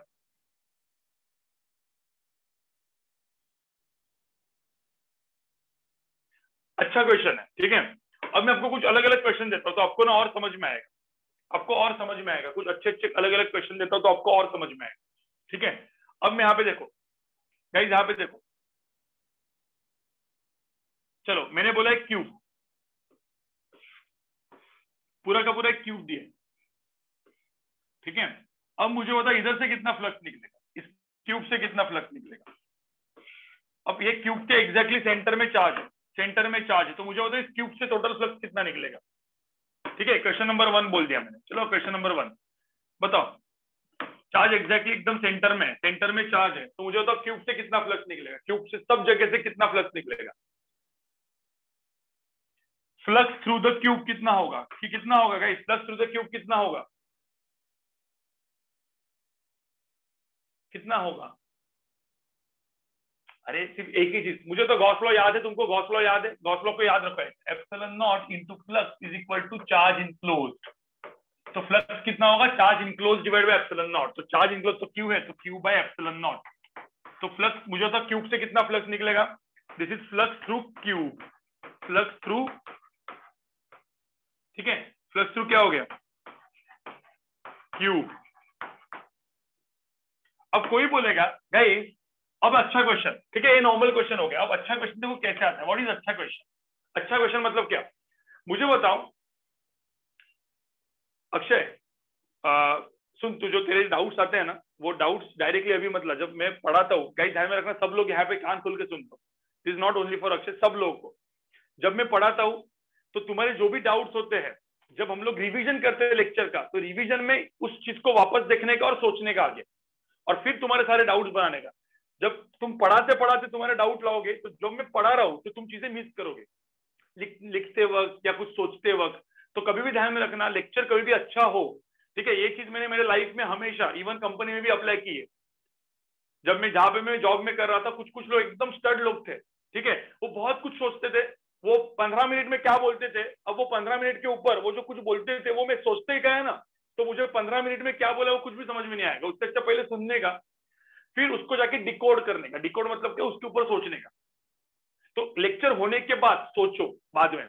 लेक्चर चलते चलते आपने सोचना चालू किया ना तो मैं आगे बढ़ूँगा, तुम पीछे वाला सोचते रहोगे। मैं आगे बढ़ूँगा, तुम पीछे वाला सोचते रहोगे। तो उससे क्या होगा? लेक्चर वेस्ट फिर जाके वापस देखना पड़ेगा रिकॉर्डिंग समझे गई ये हमेशा होगा। तो तुम्हारे जो एक्स्ट्रा डाउट्स आते हैं think on those doubt but later after the class अभी नहीं। ये सबके लिए मैं वापस बता रहा हूँ। ठीक है? चलो। तो अब मुझे बताओ। अब मुझे बताओ question number two question number two यहाँ पे देखो, ये चार्ज है चार्ज मैंने सेंटर पे रखा है तो चार्ज प्लस थ्रू क्यूब क्या होगा? क्यूब है एप्सिलॉन नॉट अब मैंने सपोज़ क्वेश्चन बोला, मुझे बताओ, कोई भी एक सरफेस से कितना फ्लक्स जाएगा? कितने सरफेस होते क्यूब के? कितने सरफेस है क्यूब के? अरे कितने सरफेस है क्यूब के? छह सरफेसेस छह सरफेसेस के अंदर से इतना जाएगा तो एक से कितना जाएगा? एक से कितना जाएगा? अरे छह के अंदर से इतना जाएगा सिक्स के अंदर से इतना जाएगा तो एक से कितना जाएगा? By six by six q by six epsilon naught बराबर है कि नहीं बताओ मुझे? कितना जाएगा? Q by six epsilon naught जाएगा कि नहीं जाएगा? हाँ अब मुझे एक बात बताओ, अब मुझे एक बात बताओ। ये कितना है? देखो यहाँ पे, ये क्यूब है तो क्यूब का साइड लेंथ ए दिया है, ये ए है, ये ए है। तो कोई भी सरफेस से मुझे बताओ, कोई भी सरफेस से ये चार्ज कितना दूरी पे होता है? जैसे कोई भी सरफेस से, ये चार्ज कितना दूरी पे होता है? ए बाई टू पे होता है। सेंटर में है ना यार? तो इसका ए होगा तो ए बाई टू होगा। तो सपोज़ किसी ने आपको ऐसा क्वेश्चन दिया, किसी ने आपको ऐसा क्वेश्चन दिया, बोला कि ऐसा एक पूरा का पूरा, ऐसा एक पूरा का पूरा, ऐसे एक साइड है, ठीक है? प्लेट है और प्लेट के एग्जैक्टली सेंटर से सामने ए बाई टू डिस्टेंस पे एक चार्ज रखा है, ठीक है? और बोला, इस चार्ज का इधर से फ्लक्स कितना होगा? तो मुझे बताओ सपोज़ मुझे गॉस लॉ पता नहीं होता, सब लोग सुनो, सब लोग सुनो, ये बहुत इंपॉर्टेंट पॉइंट है, मुझे बताओ गॉस लॉ पता नहीं होता तो तुमको क्या करना पड़ता है इसकी? अरे गॉस लॉ पता नहीं होता तो क्या करना पड़ता है? इंटीग्रेशन करना पड़ता कि नहीं? अरे भाई इलेक्ट्रिक फ़ील्ड भी अलग, देखो ना, कुछ लोग बोले सर इलेक्ट्रिक फ़ील्ड ऐसे डायरेक्शन में यहाँ पे चार्ज की वजह से इलेक्ट्रिक फ़ील्ड ऐसा है और चार्ज इसके सामने रखा है तो मैं, मुझे, मैं फिर फ्लक्स निकालने के लिए integration of E D A करना पड़ता electric field dot area area मुझे होता है इंटीग्रेट डिफ़िकल्ट होता है कि नहीं होता? अरे इंटीग्रेशन डिफ़िकल्ट होता है ना। तो मुझे होता, फिर मुझे फ्लक्स निकालना है तो इंटीग्रेट करके भी निकालने की कोशिश करता तो प्रॉब्लम होता कि नहीं होता? तो इलेक्ट्रिक फ़ील्ड में इंटीग्रेशन से करता तो प्रॉब्लम होता। तो इलेक्ट्रिक फ़ील्ड इलेक्ट्रिक फ्लक्स में इंटीग्रेशन से नहीं करूँगा। मैं किससे करूँगा? गॉस लॉ से। तो डोंट यूज़ इंटीग्रेशन अब मुझे बताओ देखो, इस दिशा देखो, ये ए है, ये ए है और ये ए बाई टू है। हाँ तो तुमने देखा यार ए ए ए बाई टू है। तो मुझे बताओ, फिर इस क्वेश्चन को सॉल्व करने के लिए तुमने क्या किया? बताओ, इस क्वेश्चन को सॉल्व करने के लिए तुमने क्या किया? एक इमेजिनरी क्या बनाया? क्यूब बनाया इमेजिनरी क्यूब चार्ज के बाजू में क्या बनाया? गाइस अरे चार्ज के इस बाजू में क्या बनाया? इमेजिनरी क्यूब क्यूब बनाया। मतलब मैंने एक इमेजिनरी ऐसा क्यूब बनाया, देखो ऐसे। इसमें ऐसे में कोई अलग कलर में लिखना चाहिए। तो ये ऐसे कलर में इमेजिनरी ऐसे क्यूब बनाया और फिर मैंने ऐसे ऐसे दिखाया कि भाई ये पूरा का पूरा चार्ज इस क्यूब में रखा है इमेजिनरी क्यूब सेंटर पे रखा है। तो इस इमेजिनरी क्यूब से टोटल फ्लक्स कितना जाएगा? क्यूब बाय एप्सिलॉन नॉट तो मुझे तो वन साइड से कितना जाएगा? वन साइड से वन फेस से कितना जाएगा? Q by six epsilon naught उस लॉजिक से मैंने क्वेश्चन को सॉल्व किया। लॉजिक क्या यूज़ किया समझ में आया? तो मैंने, मेरा यहाँ पे जो फ्लक्स है मतलब फ्लक्स थ्रू वन सरफेस कितना होगा? This is flux through one surface जो मेरा आंसर है। ठीक है? फ्लक्स थ्रू सरफेस समझ में आया कि नहीं आया? पहले बताओ। तो मेरा एकदम सिंपल मेरा क्वेश्चन सिंपल था कि भाई एक स्पेस से कितना निकलेगा? लेकिन वो फेस निकालने के लिए मैं इमेजिनरी क्यूब बनाया। ये क्वेश्चन जेई में मेरा तीन, दो, तीन बार आ चुका है। तीन बार आ चुका है। ये सेम क्वेश्चन अलग अलग फॉर्म में। ठीक है भाई लेकिन ये क्वेश्चन को कैसे सॉल्व करना है समझ में आया? ठीक है? मैं वापस बोल रहा हूँ, जिनको समझ में नहीं आया, एक तो पहले सिद्धार्थ अहिरे या फिर कोई भी जिनको समझ में नहीं आता होगा, एक बार वापस आप लोग रिकॉर्डिंग देख सकते हो, ठीक है? लेकिन मैं वापस एक बार पढ़ाऊँगा, इसके बाद नहीं समझ में आया तो रिकॉर्डिंग देख, ठीक है? मैंने क्या बोला? मेरा क्वेश्चन क्या था? मेरा क्वेश्चन क्या था? मैं वापस क्वेश्चन नंबर थ्री करके बोल देता हूँ मेरा क्वेश्चन था एक ये ए सरफेस है, ठीक है? इसका साइड लेंथ ए है और यहाँ से ए बाई टू डिस्टेंस पे एक चार्ज रखा। तो बोला इस सरफेस से कितना फ्लक्स जाएगा? Flux passing through the surface ये फ्लक्स जो है electric flux through surface through this surface कितना होगा? अब इस क्वेश्चन को सॉल्व करने के लिए मैंने अभी यहाँ पे क्वेश्चन दिया था क्यूब होता है। इस क्यूब के अंदर सपोज़ एक चार्ज एग्जैक्टली सेंटर पे तो मुझे होता क्यूब के एग्जैक्टली सेंटर में सपोज़ चार्ज है तो ये ए और ए का क्यूब है तो सेंटर मतलब क्या? कोई भी एक सरफेस से, कोई भी सरफेस से, इसका डिस्टेंस कितना होता है? ए बाई टू होता है। तो मुझे बताओ, ये क्यू चार्ज इस पूरे क्यूब से कितना फ्लक्स निकालेगा? अरे कितना फ्लक्स निकालेगा इस पूरे इससे? Cube epsilon naught cube epsilon naught निकालेगा। ठीक है? तो अब मुझे बताओ तो एक सरफेस से कितना निकालेगा? अरे पूरे सरफ क्यूब से वो क्यूब बाय एप्सिलॉन निकालेगा तो एक सरफेस से कितना निकालेगा? Q by six epsilon naught क्योंकि छह सरफेसेस है ना भाई, छह surfaces right q by six epsilon naught six कितने सरफेसेस है? पूरा थ्री डायमेंशन में कितने सरफेसेस है? सिक्स है q by six epsilon naught बराबर की नहीं? तो भाई ध्यान में रखना तो यहाँ पे q by six epsilon naught तो मुझे बताओ, यहाँ पे इसका आंसर कितना है? तो फ्लक्स थ्रू दिस कितना आ गया? क्यू बाय कितना आ गया? क्यू बाय कितना आ गया? सिक्स एप्सिलॉन नॉट आ गया। समझे गाइस हाँ now if the q is not at a by two तो क्या होगा? समझ, मुझे तो charge q a by two पे नहीं होगा तो क्या करना पड़ता फिर? तो फिर क्या करना पड़ेगा? इंटीग्रेशन और कोई चारा नहीं। ठीक है? फिर आपको इंटीग्रेशन बनाना पड़ेगा। क्योंकि ये ए बाई टू नहीं है ए बाई फोर है, कुछ है तो ऐसा ऐसा क्वेश्चन जेई मेन में जेई एडवांस में भी नहीं आएगा। जेई एडवांस में आ सकता है लेकिन एक कंडीशन पे। मैं आपको बताऊँगा वो कंडीशन क्या है। ठीक है? पहले अब मुझे एक बात बताओ क्वेश्चन नंबर फोर ये आपका लिख के हो गया होगा। अब ये क्वेश्चन नंबर फोर अब मुझे तो एक सपोज़ मैंने एक, एक क्यू है जो मैंने स्फीयर के अंदर रखा। तो मुझे होता है स्फीयर के थ्रू कितना फ्लक्स जाएगा? Flux through this sphere flux through this sphere sphere से कितना फ्लक्स जाएगा? बताओ मुझे। अरे क्यूब एप्सिलॉन नॉट जाएगा। अरे आँखें बंद करके क्यूब एप्सिलॉन नॉट जाएगा। तो मुझे तो स्फीयर के थ्रू क्यूब एप्सिलॉन नॉट जाएगा।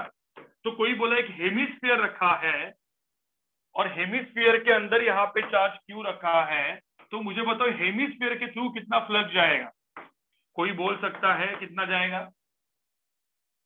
हेमिस्फीयर के थ्रू जाने के लिए क्या? तो तो मैंने एक्चुअली स्फीयर बनाया, उससे क्यू बाय एप्सिलॉन नॉट गया तो हेमिस्फीयर के थ्रू कितना जाएगा? Q by two epsilon naught अरे भाई q by two epsilon naught समझ में आ रहा है क्या? मुझे तो ये फंडा समझ में आ रहा है कि इलेक्ट्रोस्टैटिक का या नहीं समझ में आ रहा है। फंडा समझ में आ रहा है कि नहीं आ रहा है?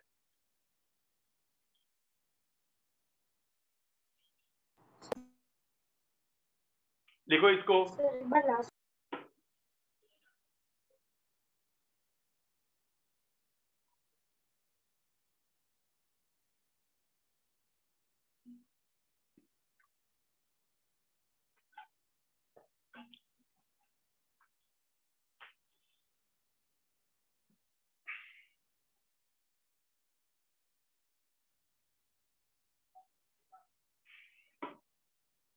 ठीक है, इसे ये जो मैंने क्वेश्चन अभी आपको बताया, ये सब जेई में नीट में आ सकते हैं, सीईटी में तो एकदम इजी इजी आते हैं, लेकिन जेई में नीट में एक्सेप्ट के क्वेश्चन आते हैं।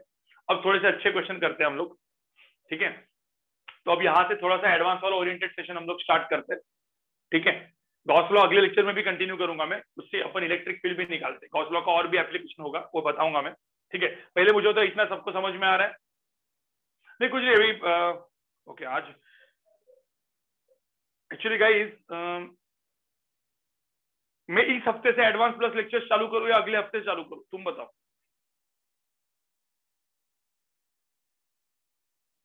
इसी हफ़्ते से कर दो सर।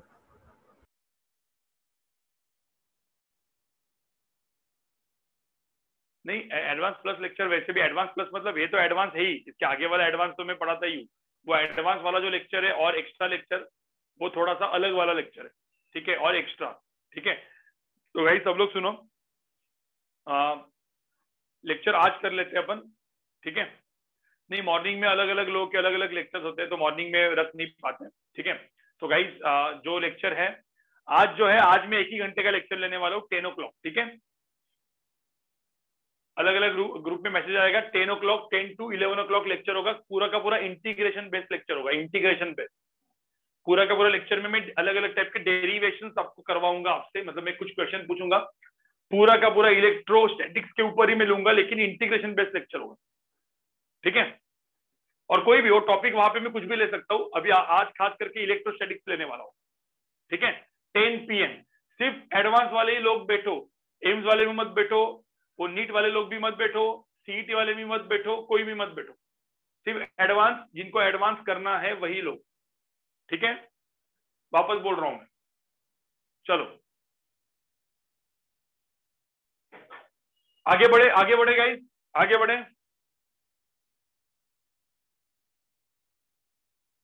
क्वेश्चन नंबर फोर हो गया क्वेश्चन नंबर फाइव अब मुझे एक बात बताओ क्वेश्चन नंबर सिक्स अब मुझे बताओ, अब यहाँ पे, देखो सेम प्लेट दे दिया मैंने, अभी यहाँ पे देखो सेम प्लेट दे दिया। चलो, कोई बोल सकता है इसका आंसर क्या है? ये प्लेट और प्लेट देखो, ये सेम प्लेट है, लेकिन अब जो चार्ज है, वो इसके, अब मुझे था जो मैंने यहाँ पे चार्ज रखा था, वो कहाँ से रख, कहाँ पे रखा था? मतलब यहाँ पे जो चार्ज रखा था मतलब जैसे कि यहाँ पे देखो, मेरे हाथ में एच और माए सब लोग यहाँ पे देखो। ये ये प्लेट है तो प्लेट के सेंटर से डिस्टेंस ए पे रखा ठीक है सीईटी वाले लोग निकल सकते हो अभी। ठीक है? प्लेट के सेंटर से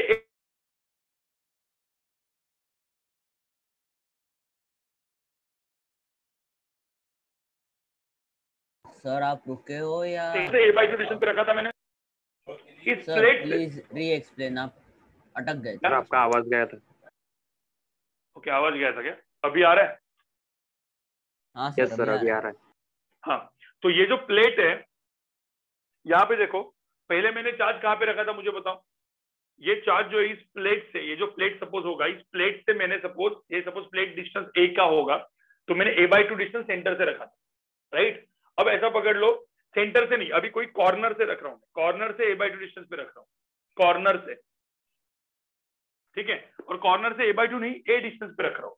समझ में आ रहा है? मतलब इधर ए बाई टू डिस्टेंस पे रखा था मैंने, ऐसे, देखो क्वेश्चन नंबर थ्री डायरेक्टली आपने क्यू बाई सिक्स डाल दिया। अब मुझे बताओ, इस क्वेश्चन में सपोज़ मैं यहाँ से ए डिस्टेंस पे रखता हूँ चार्ज कोई भी कॉर्नर से तो मुझे बताओ यहाँ से फिर फ्लक्स कितना जाएगा इसके through flux through flux through this plate कितना होगा? समझे? बताओ ये ए ए ए। थोड़ा सा दिमाग लगाओ थोड़ा सा दिमाग लगाओ।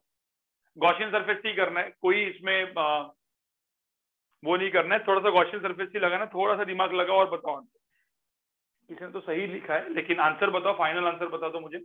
आंसर क्या है?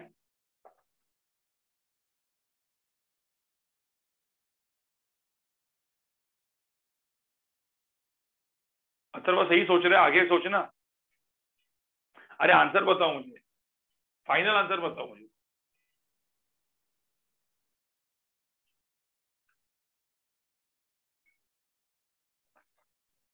जो इस क्वेश्चन का आंसर सही देगा, उसको मैं बोलूँगा कि उसका इमेजिनेशन सही है। ठीक है? जो इस आंसर का सही आंसर अभी देगा मुझे, मैं बोलूँगा कि आपका प्रिपरेशन एकदम सही चल रहा है। देखने दो कौन है। ठीक है, ऋषि। गुड अब तक सिर्फ़ ऋषि ने सही आंसर दिया है। सब लोग आंसर डालो। तुहिन ने सही आंसर दिया है।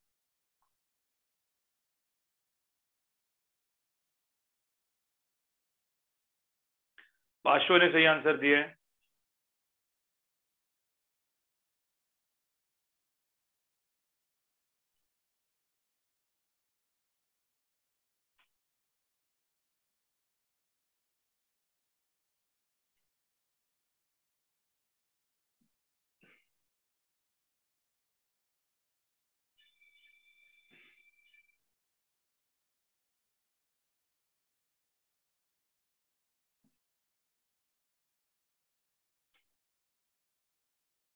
मंदार ने सही आंसर दिया है।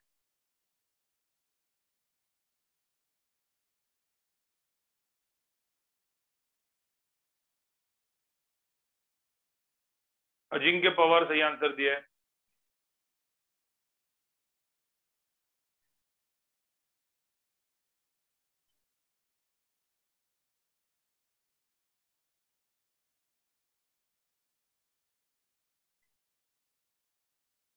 प्रणव बख्शी सही आंसर दिए मैं देख रहा हूँ भाई, कौन सही आंसर निकाल पाएगा इसका? जितने भी आंसर अभी जो दो लोग बोल रहे अक्षय सही आंसर है, यश चौहान सही आंसर है।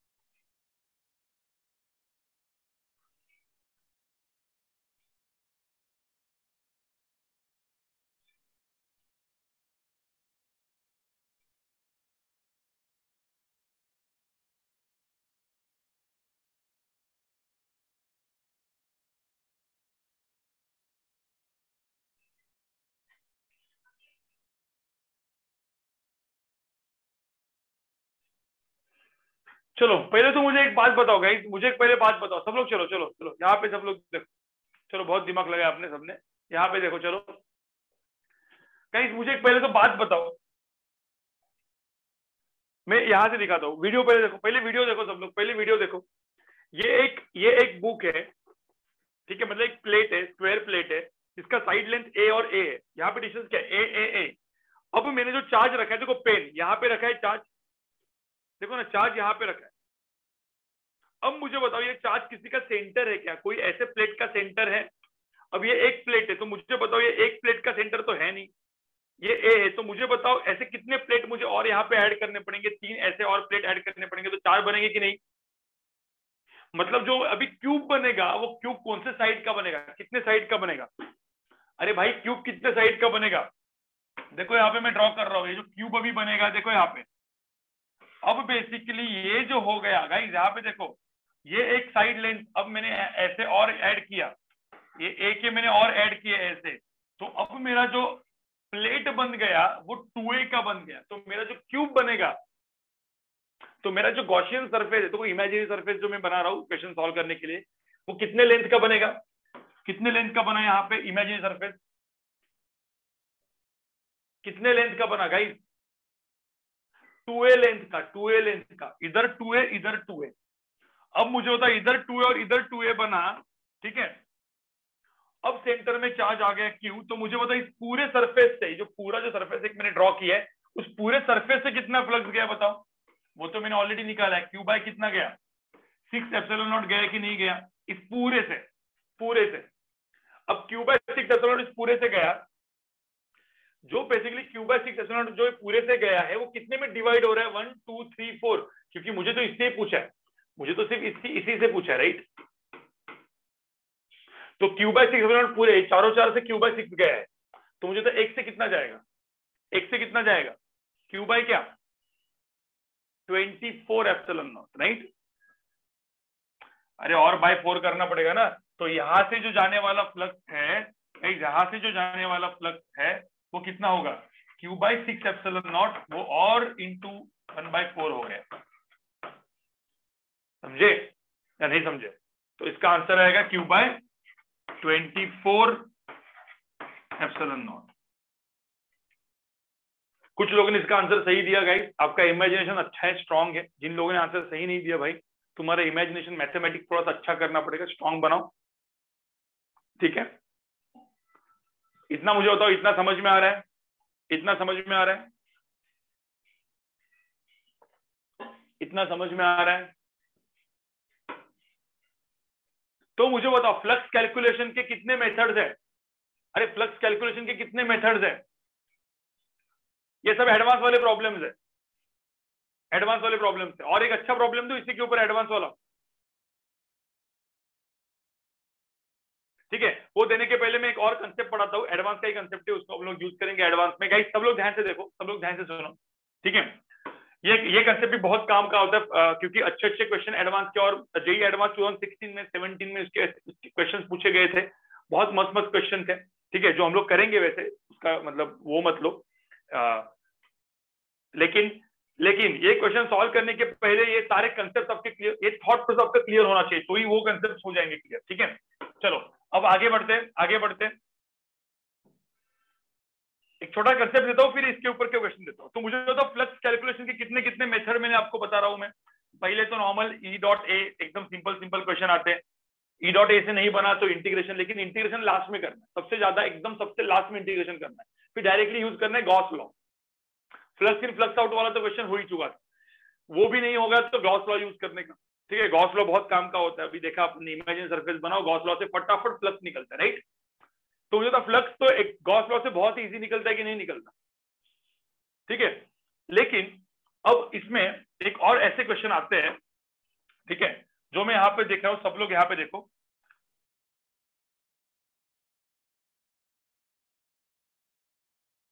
मैंने बोला एक डिस्क दिया है, ठीक है, ये डिस्क है, ये एक डिस्क है। ठीक है? डिस्क का रेडियस है आर ये डिस्क है। और बोला इस डिस्क से, सपोज़ कोई एक्स डिस्टेंस पे एक्स डिस्टेंस पे मैंने एक चार्ज रखा और बोला कि अब मुझे होता है डिस्क से कितना फ्लक्स निकलेगा? इस डिस्क से कितना फ्लक्स निकलेगा? तो पूरा कोन बन गया ना एक। तो अब मुझे एक बात बताओ, ऐसे ऐसे कुछ टाइप का ऐसा जो फ्लक्स निकलेगा, वो इतने इससे निकलेगा ऐसे? आप समझ रहे पूरा कोन बन गया ना ऐसा। फ्लक्स तो मुझे तो कितना फ्लक्स निकलेगा तो यहाँ पे अभी डिस्क है तो कोई क्वेश्चन सरफेस बना सकते हैं क्यूब क्यूब तो बना नहीं सकते। राइट गाइस क्योंकि क्यूब तो बनाने नहीं, और पाँच, छह डिस्क भी रखे तो भी कुछ ना तो फ्लक्स इधर उधर से जाएगा ही जाएगा राइट तो यही तो डायरेक्टली होगा क्या? इस क्वेश्चन को डायरेक्टली सॉल्व कर सकते क्या? और मैंने बोला इंटीग्रेशन को हमेशा मैं ना बोलता हूँ। मैंने बोला, चलो फ्लक्स थ्रू दिस डिस्क पूछो। फ्लक्स थ्रू दिस डिस्क पूछा है तो तुम बोला, सर इंटीग्रेशन कर लेते, चलो। भाई इंटीग्रेशन इतना इतना ईजी नहीं है। और जेई एडवांस में आप बैठोगे तो जेई एडवांस में इतना आप, आपके पास इतना टाइम भी नहीं है कि आप इंटीग्रेशन यूज़ करो। राइट गाइस तो इंटीग्रेशन लास्ट ऑप्शन होता है।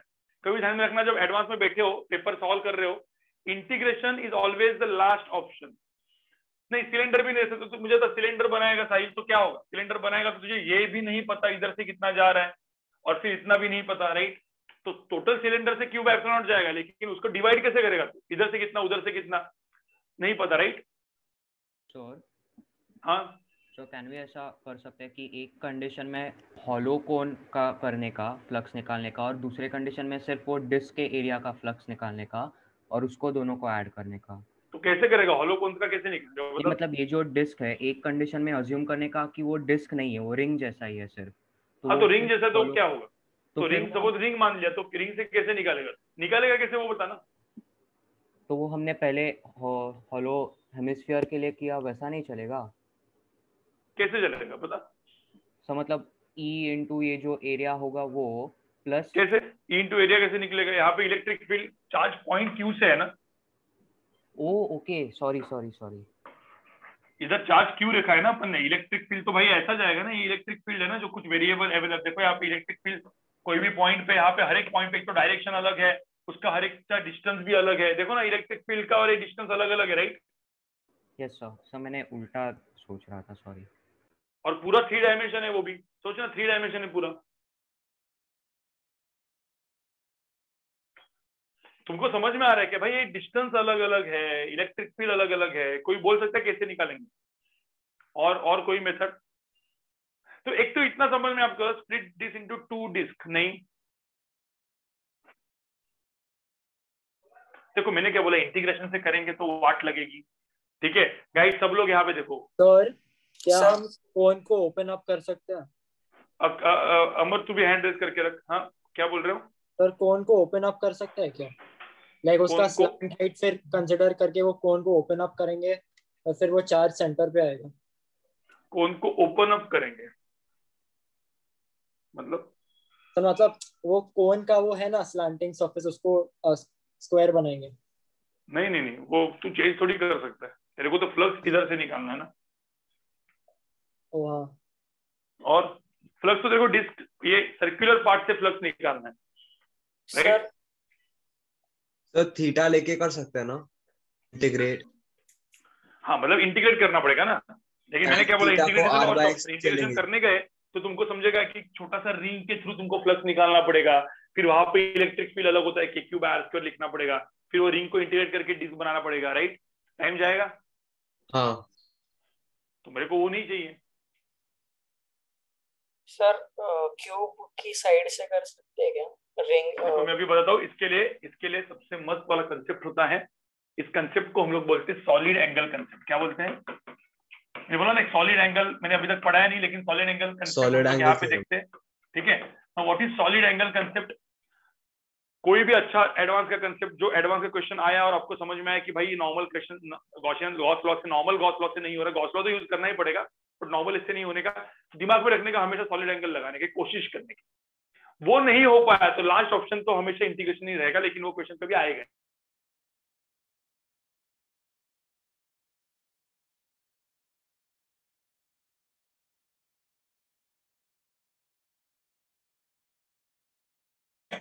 सपोज़ इस बंदे ने वापस कॉल किया।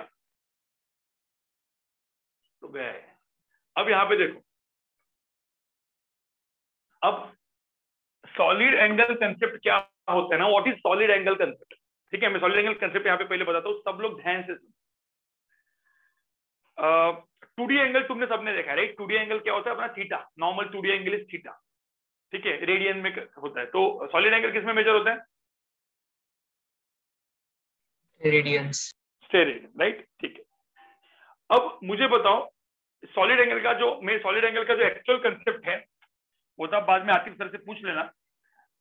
लेकिन मैं एक सिंपल बताता हूँ, जो solid angle is three dimensional angle जैसे यहाँ पे अपन देखेंगे तो ये जो एंगल है, देखो, ये जो एंगल बना है थ्री एंगल इसको मैं लिखूँगा ये साइन ओमेगा टाइप के साइन ठीक है? अब इसका जो डेरिवेशन है, जो मैं लिख रहा हूँ, इसका डेरिवेशन में यहाँ पे नहीं दूँगा, वो आप ढूंढ के ला सकते हो। वो सरफेस एरिया और सॉलिड एंगल से आता है, ठीक है? फोर आर स्क्वायर वगैरह से आपको आता है वो, ठीक है? यहाँ पे सॉलिड एंगल और ये जो होता है, ये ये ये ये एंगल को हम लोग बोलते हैं थीटा ठीक है? थीटा नॉट इसको हम लोग क्या बोलेंगे? हाफ़ एंगल क्या बोलते हैं? Why it is half angle क्योंकि कोन जो है कोन का टोटल एंगल थीटा नॉट होगा मतलब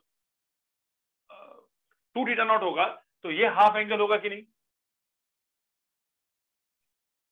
बराबर?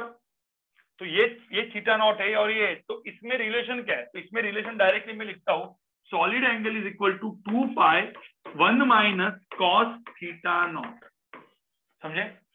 एक मैथमेटिकल प्रूफ है। आपको चाहिए तो ये प्रूव करके लाओ, जिनका मैथ सही है प्रूव करके लाओ। ठीक है? लेकिन मैथमेटिकल प्रूफ अभी मैंने डायरेक्टली बता दिया है।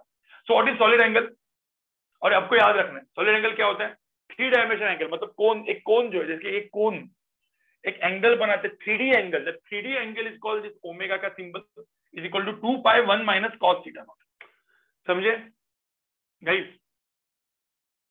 मतलब समझना क्या इसमें? ना नॉर्मल है। ठीक है अब मुझे बताओ पूरा थ्री डायमेंशन सॉलिड एंगल कितना हो सकता है? पूरा थ्री डी एंगल कितना होगा? मतलब पूरा थ्री डी एंगल मतलब थ्री डी एंगल टोटल कितना होगा? सॉलिड एंगल आइसक्रीम कोन की तरह दिखता है क्या? हाँ? हाँ ये ओमेगा की तरह दिखता है। फुल थ्री एंगल कितना होगा? मतलब फुल स्फीयर ऐसा पकड़ लो फुल स्फीयर का एंगल कितना होगा? कितना होगा? तुम्हारे हिसाब से इस फॉर्मूला के हिसाब से कितना होगा बताओ।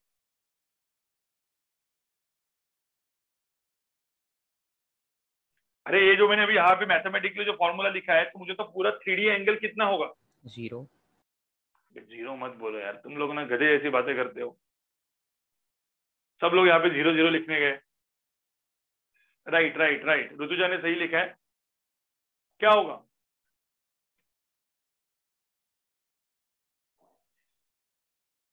और रेडियन में डालो भाई आंसर। पूरा थ्री एंगल कितना होगा?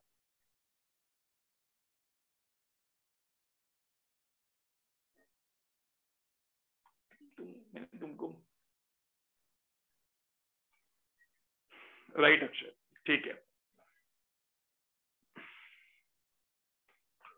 ध्यान में रखना, पूरा जो थ्री एंगल है, पूरा थ्री एंगल पूरा स्फीयर कर लो तो मुझे होता पूरे स्फीयर में थीटा नॉट कितना होगा? अरे थीटा नॉट कितना होगा पूरे स्फीयर में? थीटा नॉट देख टोटल एंगल 360 होता है ना टोटल 2D एंगल देखो, इसको हम लोग बोलते हैं 2D एंगल क्या बोलते हैं? Two dimension angle 2D angle तो ये 2D एंगल सपोज़ होता है तो टोटल स्फीयर का 2D angle is two pi तो फाइन नॉट की वैल्यू कितनी होगी? Two pi divide by two ना, कितना होगा? पाई होगा ना भाई। 180 डिग्री होता है ना भाई। 180 डिग्री होता है कि नहीं? 180 तो अब मुझे बताओ यहाँ पे टू पाए टू पाए ठीक है? तो यहाँ पे हम लोग क्या लिखेंगे? Two pi one minus cos theta naught मतलब कॉस पाई कॉस पाई की वैल्यू कितनी होती है? कॉस 180 कितना होता है? माइनस वन तो one minus minus one, two होगा तो आंसर कितना होगा यहाँ पे?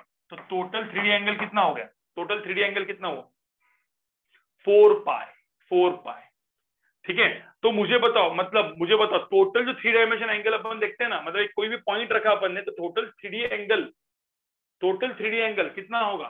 कितना होगा गाइस फोर पाए होगा. समझे क्या? गाइस इतना मुझे बताओ, इतना समझ में आ रहा है? ठीक है?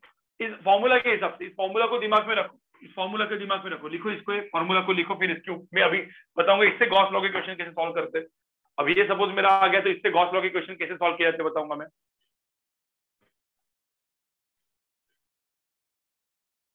इससे कैसे गॉस लॉ के क्वेश्चन सोल्व करते वो देखते गाइस अपन।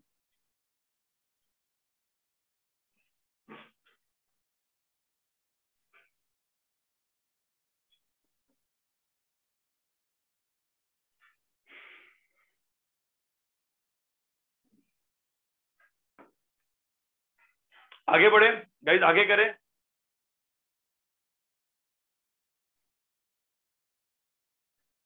हाँ तो अब मुझे एक बात बताओ।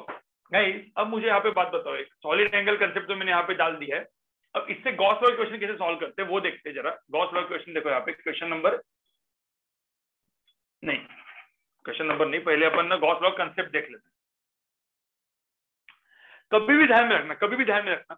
कोई भी चार्ज कोई भी चार्ज ठीक है? एक मिनट एक मिनट, इसको निकाल देता हूँ। हाँ। अब मुझे बताओ, कोई भी चार्ज कोई भी चार्ज यहाँ पे क्यों रखा हुआ है? तो कोई भी चार्ज का थ्री एंगल कितना होता है? मुझे बताओ थ्री एंगल कितना होता है? कोई भी चार्ज का थ्री एंगल कितना होता है? अरे, कोई भी चार्ज का थ्री एंगल कितना होता है? फोर पाई मतलब मुझे होता जो एक चार्ज जो अपना फ्लक्स निकालता है, अपने अंदर से जो फ्लक्स निकालता है, जो यहाँ से जो फ्लक्स निकालता है तो कोई भी चार्ज अपने में से जो फ्लक्स निकालता है, ठीक है, वो फ्लक्स की वैल्यू कितनी होती है भाई?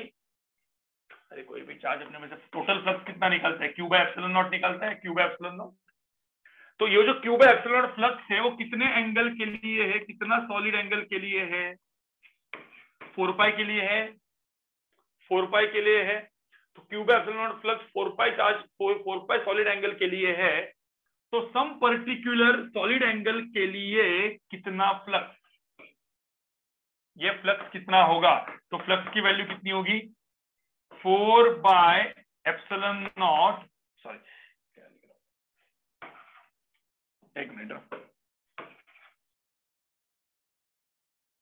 Q by epsilon naught into क्या?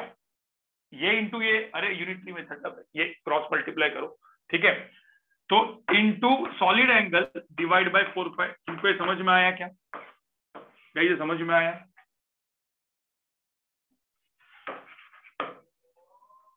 ये अपना मेथड है। भाई, ये अपना मेथड मतलब फॉर्मूला ऐसे याद मत करो, आप डायरेक्ट ऐसा करके लिख सकते हो, ठीक है?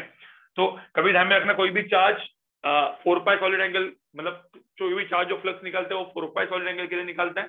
तो सम पर्टिकुलर सॉलिड एंगल के लिए कितना फ्लक्स ठीक है? अब मैं क्वेश्चन देता हूँ, आप खुद करोगे। ऐसे बहुत सारे क्वेश्चन में दे सकता हूँ बाद में, ठीक है? चलो, पहले ये हो गया, इतना हो गया गाइस इतना हो गया।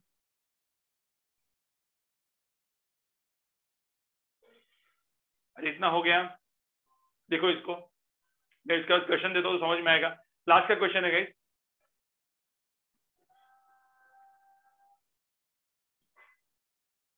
लिख सकते हो। क्यू बाय फोर पे एप्सिलॉन इनटू ए ये भी लिख सकते हो तुम।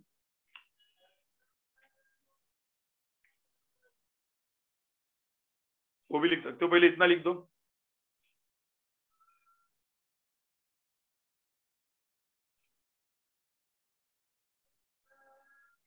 आज का जो अपना लेक्चर है मतलब आज का जो एडवांस प्लस लेक्चर है दस बजे का मैं बताऊँगा वो होगा कि नहीं होगा, क्योंकि मुझे पता नहीं कि वो कितना मतलब या फिर नॉर्मली अपन स्क्रीन शेयरिंग से कर सकते हैं, ठीक है? क्योंकि हमारा वाईफाई तो गया है मोबाइल नेट मेरे को देखना पड़ेगा, ठीक है? तो नाइन फोर्टी फाइव को मैसेज डालूँगा आज के लेक्चर के बारे में, कि नाइन फोर्टी फाइव को बताऊँगा कि लेक्चर है कि नहीं, ठीक है? दस बजे का। और जो भी दस बजे का लेक्चर आज जो होगा, जेई एडवांस का, वो प्योर इंटीग्रेशन बेस्ड लेक्चर होगा। Integration application of integration in question ठीक है? तो आज क्वेश्चन नहीं कुछ कुछ डेरिवेशन करूँगा मतलब कुछ क्वेश्चन ऐसे दूँगा मैं, जिसमें आपको इंटीग्रेशन ज़्यादा लगेगा, ठीक है? और मैं कुछ कुछ दो से तीन लेक्चर मेरे लगातार इंटीग्रेशन के ऊपर ही रखूँगा मतलब जो भी इंटीग्रेशन का, क्योंकि देखो एडवांस में काफ़ी सारे इंटीग्रेशन यूज़ होता है, हमेशा क्वेश्चंस में तो उसके ऊपर आप कंफर्टेबल होने चाहिए, ठीक है? वो आपको कंफर्ट जोन में लाना मतलब उसके साथ आपका कंफर्ट जोन आना चाहिए, ठीक है चलो, आगे बढ़े, लिख के हो गया इसको। हाँ। तो अब मुझे एक बात बताओ सपोज़ मैंने एक यहाँ पे, सब लोग यहाँ पे देखो, सब लोग यहाँ पे देखो, जो मैं यहाँ पे बोल रहा हूँ ये एक डिस्क है।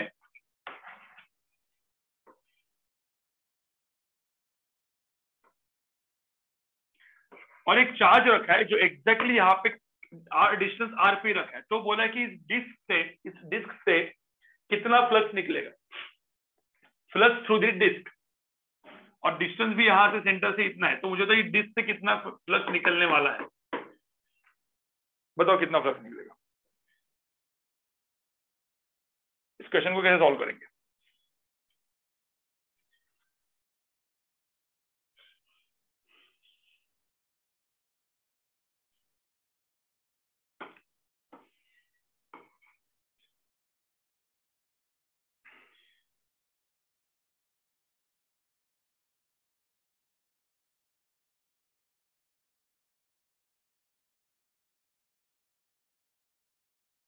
Guys?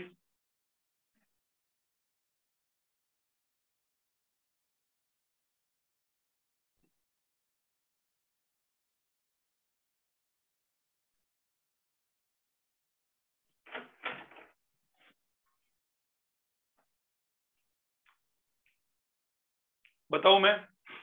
गाइस बताऊ चलो, पहले यहाँ पे देखो। गाइस यहाँ पे देखो। चलो, ठीक है। जो भी है आपने जो भी कुछ कर रहे हो, पहले मुझे बताओ यहाँ पे ये जो है, ये टोटल एंगल है। इसमें हाफ़ एंगल कौन सा है? हाफ़ एंगल कितना है? What is half angle theta naught की वैल्यू कितनी है? अरे आर और आर तो थीटा नॉट कितना है? 45 डिग्री है। ध्यान में रखना, यहाँ पे हाफ़ एंगल इज़ 45 तो एक चीज़ ध्यान में रखना यहाँ पे। Solid angle is two pi one minus cos forty five तो सॉलिड एंगल है, कुछ लोगों ने नाइनटी एंटी लिख के गलत किया है। ठीक है? तो ध्यान में रखना, यहाँ पे टू पाई क्या होगा? Two pi one minus one by root two तो this is my solid angle guys this is my solid angle अब मैं क्या करूँगा? जो मेरा फ्लक्स है, ठीक है? मतलब मेरा फ्लक्स कितना होता है? मेरा flux is Q by epsilon naught which is for angle four pi तो बोलेंगे भाई, इस एंगल के लिए मतलब two pi one minus one by root two के लिए कितना फ्लक्स जो मेरा आंसर है तो मेरा फ्लक्स की वैल्यू क्या हो गई? ठीक है? So Q by epsilon naught तो हो ही गया। इंटू टू पाई तो यहाँ पे आ गया। देखो Q two pi by four pi समझ में आ रहा है? ठीक है? तो ये और ये मल्टीप्लाई हो गया तो बाय फोर पाई आ गया। तो आंसर क्या बचा यहाँ पे? ठीक है? One minus one by root two ठीक है? इंटू टू मतलब ये वाला आंसर आ गया ना बेसिकली टू रूट टू समझे क्या गाइस ये मुझे तो समझ में आया ये आंसर ये मेरा फ्लक्स है। निकाल सकते हो? अभी कोई भी क्वेश्चन निकाल सकते हो आप लोग गाइस मुझे होता कोई भी क्वेश्चन इसमें फ्लक्स निकाल सकते हैं अपना? बहुत अच्छे अच्छे क्वेश्चन भी इसमें पूछे गए हैं, ठीक है? एडवांस में काफ़ी अच्छे अच्छे क्वेश्चन पूछे गए। थोड़ा सा दिमाग लगाना पड़ता है, बाकी कुछ नहीं। क्वेश्चन नंबर एक और क्वेश्चन देता हूँ, फिर खत्म करते लेक्चर ठीक है? क्वेश्चन नंबर टू देखो यहाँ पे। इसको लिखो मतलब ये तो क्या है? सॉलिड एंगल निकाला मैंने, फिर सॉलिड एंगल कंसेप्ट लगाया आंसर आ गया। ठीक है? लिख के हो गया, सबका लिख के हो गया गाइस सबका लिख के हो गया। आगे बढ़ते हैं। अब यहाँ पे देखो क्वेश्चन नंबर टू देखो। ये भी इजी है। लेकिन बस अब मतलब सेमी टाइप का क्वेश्चन देता हूँ, मैं लेकिन फटाफट तुम लोग करो। चार्ज क्यों रखा है?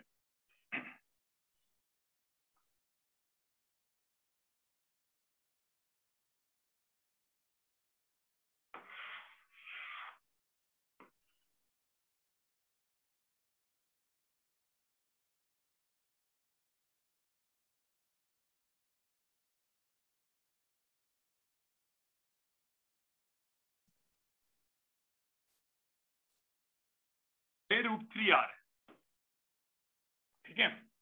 और यहाँ पे देखो, और गाइस यहाँ पे देखो, ये एक डब्बा है, डब्बा मतलब ये पता है ना सिलेंडर वाला डब्बा होता है ना ऐसे? ऐसे एक डब्बा है। आपको समझ में आ रहा है? एक सिलेंडर वाला ऐसे ऐसे सिलेंडर वाला सा डब्बा सिलेंडर मतलब सिलेंडर है सिलेंडर वाला डब्बा है, लेकिन ये सब जो है, ठीक है, इसका जो लेंथ है, ये मतलब ये पूरा का पूरा जो डब्बा है, उसका लेंथ दिया है, कुछ यहाँ पे दिया है, कुछ फाइव आर और ये सब दिया है आर ठीक है? तो बोला है कि अब मुझे क्या बोला है? मुझे इस डिस्क से नहीं, इस डब्बा जो, ये जो, ये वाला सरफेस मैंने बनाया बाकी वाला, उससे कितना फ्लक्स निकलेगा? वो वो पूछा है। ये वाला मतलब वो सिलेंडर का जो दूसरा डब्बा है, उससे कितना फ्लक्स निकलेगा, वो पूछा हुआ ठीक है? मतलब गाइस सिलेंडर तो मैंने ऐसे ड्रॉ किया, आप लोग मतलब ऐसा करके रख सकते हो। ठीक है? मतलब आप समझो ना मतलब मैंने इस तरीके से ड्रॉ किया, मैं इस तरीके से रख सकता हूँ मतलब ऐसा एक प्रॉपर सिलेंडर दिया है, इस तरीके से रख सकता हूँ मैं। ठीक है? आप बताओ कि कितना होगा? आंसर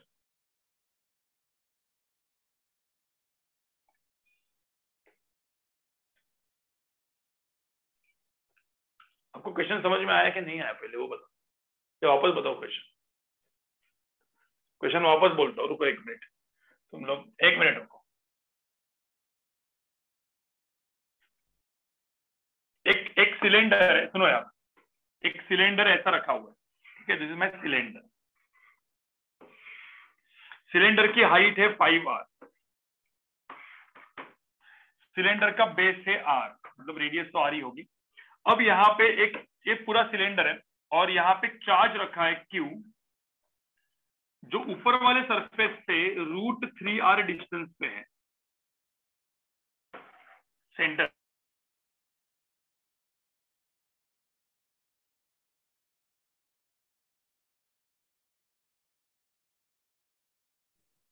सर आपका वीडियो लैग कर रहा है। सिलेंडर सिलेंडर के ये वाले सरफेस से कितना फ्लक्स निकलेगा? ये वाले सरफेस सो so, ये फ्लक्स कितना निकलेगा? ये पूछा। हाँ वो कोई कॉल कर रहा था इसलिए लैग हो रहा था। मुझे बताओ यहाँ पे ये वाले सरफेस से कितना फ्लक्स निकलेगा ये पूछा। समझ में आया? ये वाला नहीं बाकी वाला सर सर मतलब पूरा हाँ। ऊपर वाला ऊपर वाला छोड़ के बाकी वाला सरफेस से कितना फ्लक्स निकलेगा? बताओ जरा फटाफट आंसर बताओ।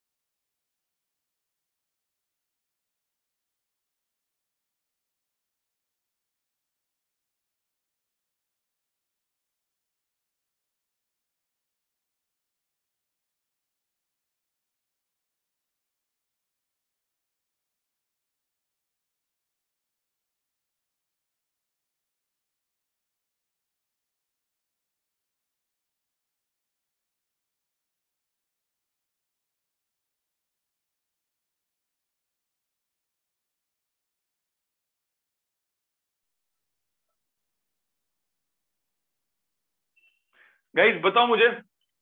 है किसी का? कैसे करोगे? सर बहुत गंदा मतलब मैं हाँ गंदा आएगा लेकिन मुझे एक बात बताओ यहाँ पे पहले तो मुझे बताओ ये एंगल कितना है? Thirty degree. Thirty degree. कितना? Thirty degree. Thirty degree. तो थर्टी डिग्री। तो मतलब मुझे बताओ ये मैंने किसी ने बोला कि गाइस मुझे इधर से निकालना है।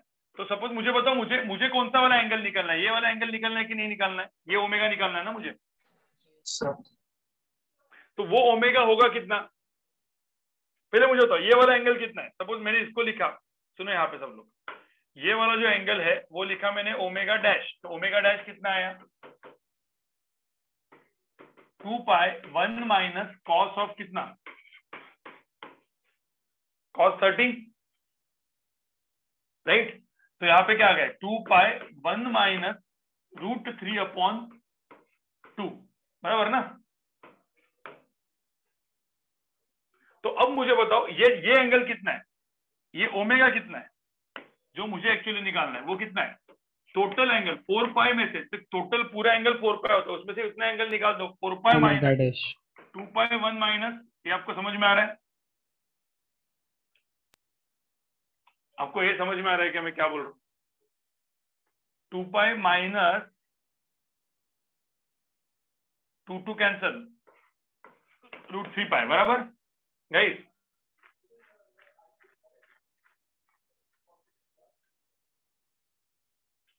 तुम मुझे बताओ, ये जो मैंने लिखा वो समझ में आया तुमको? तो इसका आंसर कितना आएगा? इसका आंसर कितना आएगा? टू पाए ठीक है? प्लस रूट थ्री पाए तो ये हो गया मेरा, ये क्या हो गया मेरा? ये वाला चीज़, बराबर? और क्यू बाय एप्सिलॉन नॉट मुझे बताओ Q by epsilon naught Q by epsilon naught flux पूरा फोर पाई के लिए होता है तो इस पर्टिकुलर एंगल के लिए कितना कितना फ्लक्स तो ये मेरा फ्लक्स का आंसर है क्रॉस मल्टीप्लाई करके। सबको समझ में आया आंसर गाइस तो इस तरीके से इस क्वेश्चन को अपन सॉल्व करते हैं। तो फ्लक्स की वैल्यू आप डायरेक्टली लिख दे सकते हो Q into two plus root three by four naught बस ये मेरा आंसर है। ठीक है।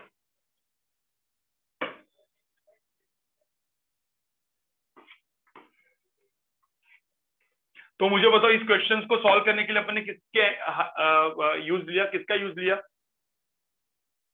हाँ टोटल फ्लक्स से भी करेंगे तो सेम ही आता है मतलब कुछ भी करके टोटल फ्लक्स से वो टोटल वो फ्लक्स माइनस कर दो भी सेम ही आएगा सिंपल सी बात है राइट गॉस लॉ से किया कि नहीं किया?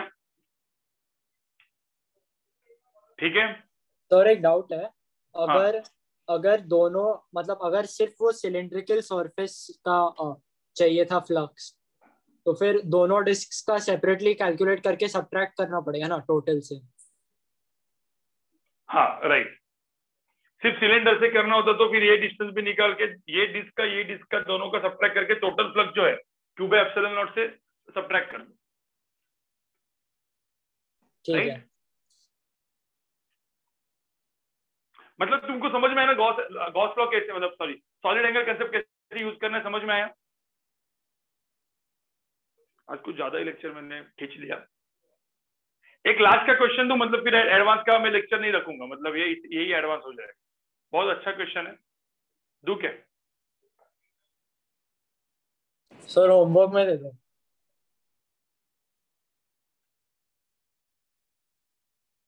मतलब दे देता हूँ मतलब क्या रात का लेक्चर नहीं जाएगा क्योंकि आज वैसे भी नेट का प्रॉब्लम चल रहा है तो अभी खींच लेता हूँ मैं। ठीक है?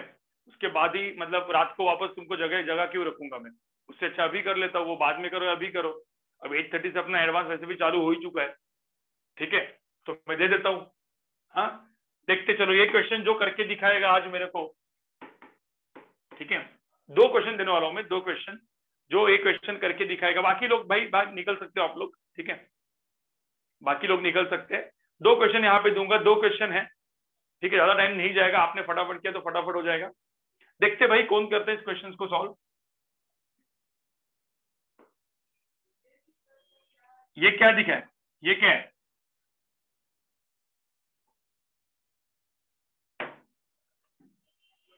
हेमिस्फीयर है ना? हेमिस्फीयर गाइस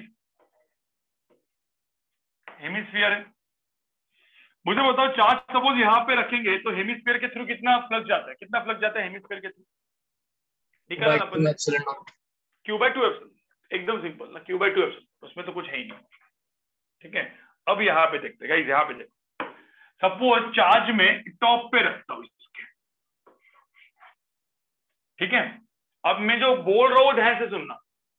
इस चार्ज के वजह से हेमिस्फेरिकल सरफेस के थ्रू कितना जाएगा? सिर्फ़ हेमिस्फेरिकल सरफेस मतलब कौन सा सरफेस ये सरफेस समझ में आया ना ये वाला? इस हेमिस्फेरिकल सरफेस के थ्रू कितना फ्लक्स जाएगा? निकालो, चलो। और charge is at the top of this ठीक है सेंटर से एग्जैक्टली टॉप पे रखा हुआ है। ठीक है, बताओ हेमिस्फेयर के थ्रू कितना चार्ज जाएगा? मैं आपको दे रहा हूँ पाँच मिनट सॉल्व करो इस क्वेश्चन को। ठीक है? एडवांस का ही क्वेश्चन है। और वो एडवांस में आया हुआ क्वेश्चन है मतलब जे एडवांस का ऑलरेडी मतलब आया हुआ क्वेश्चन दिया है चलो, करो।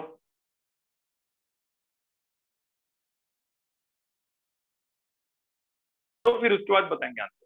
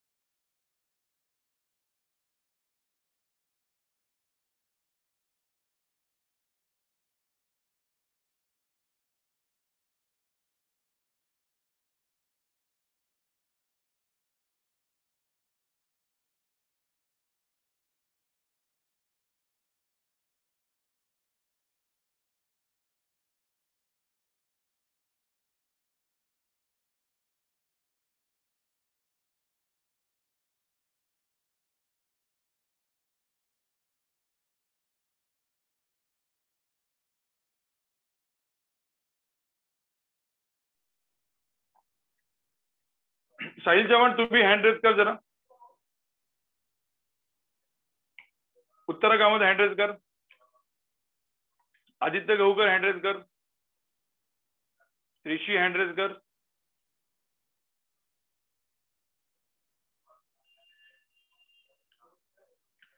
उत्तरा हँड रेज कर।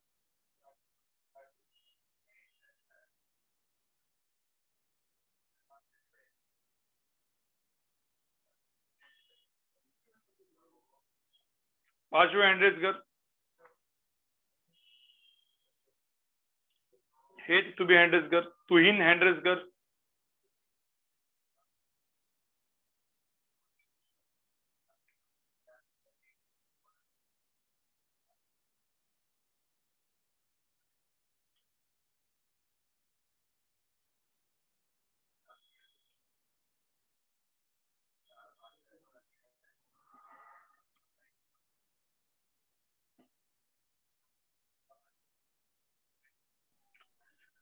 ठीक है मेरे को एक बात बताओ। आ, साहिल।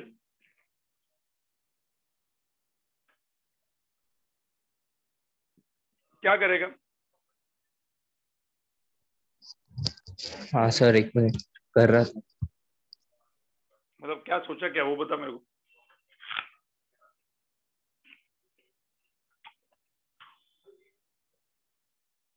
सोचा क्या है सोचा क्या है तूने?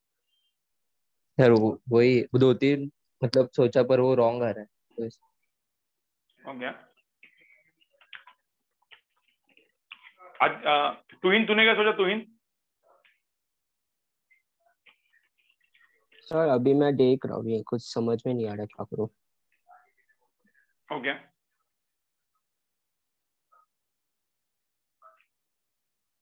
अमर तूने क्या सोचा? अमर? हाँ सर।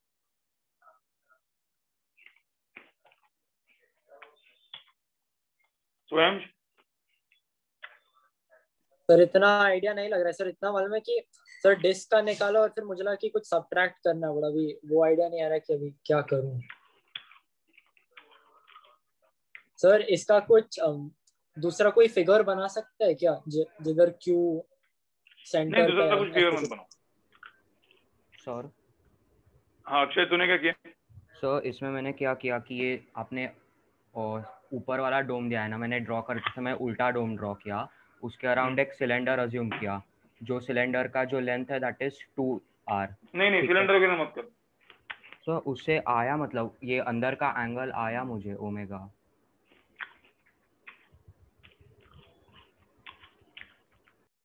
सिलेंडर विलेंडर क्यों बनाता तू नॉर्मल डायरेक्ट करना। सर नॉर्मल ऐसे कैसे निकालेंगे मतलब? सिर्फ़ और कोई बिना इंटीग्रेशन के कैसे होगा ये? क्या? ये बिना इंटीग्रेशन का थोड़ा डाउटफुल ये है। इंटीग्रेशन से इंटीग्रेशन से इंटीग्रेशन नहीं यूज़ करना। लिख तो एंगल नहीं निकल रहा सर हम्म। सर लाइक आई मीन वो लास्ट क्वेश्चन में हम लोगों ने जैसे करा था लाइक क्यू चार्ज पे कौन फॉर्म करके वैसे हो सकता है क्या? किसका क्या? सर लाइक आई मीन जो डिस्क है नीचे का वहाँ से क्यू चार्ज तक फॉर्म कौन जैसा फॉर्म करके then that R will be same everywhere right तो आर विल भी क्या? सर यही मिलेगा ना इससे ही मिलेगा मतलब हमें इससे ही ओमेगा भी मिलेगा। कितना है? सो ओमेगा मुझे आया two pi into one minus one by root two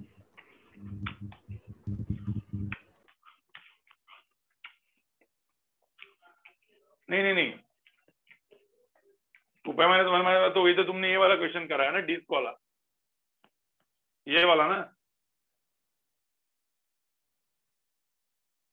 Sir but what we are trying to say like कि तब जब तक वो ओमेगा नहीं मिल रहा राइट तब तक। मतलब लाइक उसका हेमिस्फेयर वाला फिर पार्ट अलग से सॉल्व हो सकता है ना? हाँ हो सकता है। तुमने सोचा सही है लेकिन और एक स्टेप आगे बढ़ना है।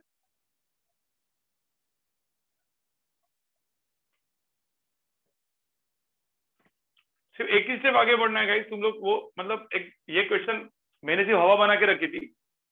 ठीक है? एडवांस का क्वेश्चन है नो डाउट लेकिन इसका आंसर डायरेक्ट आना चाहिए आपको। अब सोचो थोड़ा सा थोड़ा सोचोगे, आओगे, थोड़ा सोचे, सोचेंगे तो आएगा। बताओ क्या? सर, दो मिनट दो ना।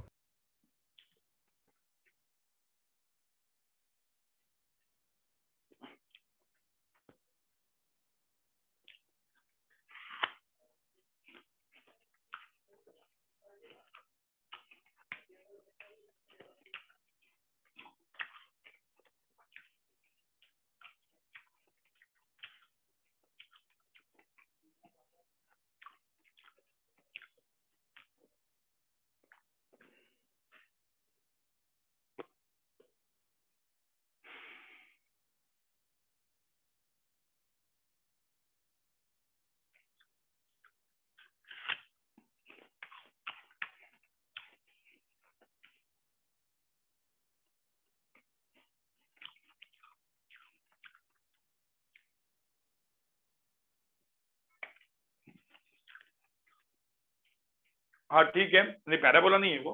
वो स्फीयर है वो। ठीक है नॉट पैराबोला बट यस सही बोला है तुमने, लेकिन आगे सोच।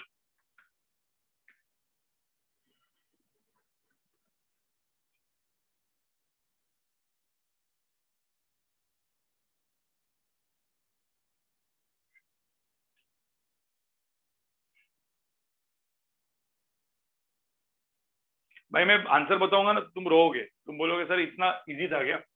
अब तो बोलो मैंने हिंट दे दिया आपको इतना इजी क्वेश्चन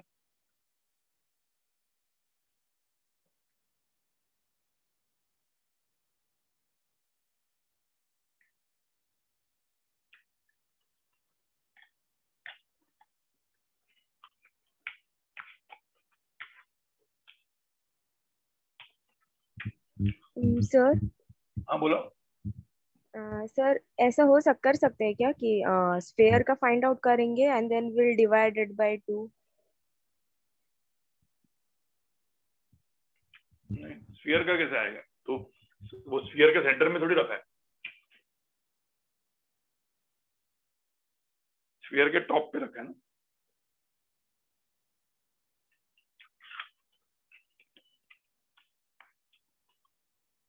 चलो गाइज़ यहाँ पे देखो।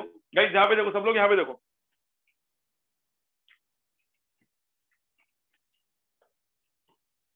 ये चार्ज मैंने यहाँ पे रखा है राइट नहीं पहले तो मुझे एक बात बताओ गाइज़ मुझे एक बात बताओ। ये चार्ज जो अपने में से जो पूरा फ़ील्ड निकलेगा तो टोटल कितना ये जो टोटल फ़ील्ड है, ये जो टोटल फ़ील्ड है, यहाँ से जो प्लग जाने वाला है, वो कितना है? टोटल फ्लक्स कितना है? यहाँ से जाने वाला टोटल फ्लक्स कितना है? टोटल फ्लक्स कितना है यहाँ पे? मतलब टोटल उधर से जाने वाला। क्यू बाई कितना? Two pi Q by two epsilon naught पहले मुझे तो इतना बराबर है क्या? टोटल फ्लक्स मतलब इस पूरे हेमिस्फीयर से के ये हेमिस्फेरिकल सरफेस और ये इवन सर्कुलर सरफेस उसमें जाने वाला फ्लक्स कितना है? Q by two epsilon naught है।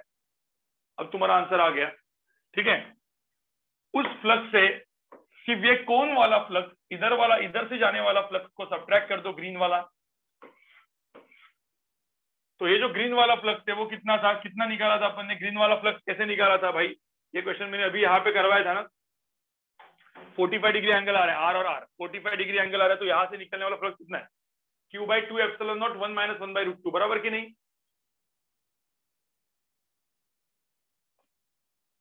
Q by 2 epsilon naught 1 minus 1 by root 2 q by 2 epsilon naught 1 minus 1 by root 2 तो टोटल फ्लक्स यहाँ से निकलने वाला इतना होगा, क्योंकि ऊपर वाला फ्लक्स तो नहीं है अपने पास। तो इस टोटल फ्लक्स से ये ग्रीन वाला फ्लक्स माइनस इन दोनों को सब्ट्रैक्ट कर दो, वो मेरा आंसर तो मेरा फ्लक्स कितना आएगा? Q by 2 epsilon naught मेरा total flux minus q by 2 epsilon naught 1 minus 1 by root 2 समझे गई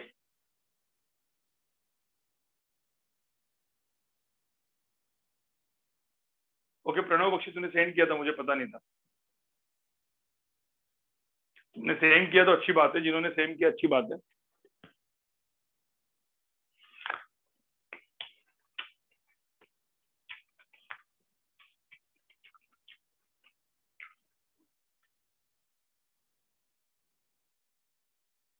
ओके तुमने भी सेंड किया था। अभी मुझे पता नहीं कितने कितने लोगों ने सेंड किया था।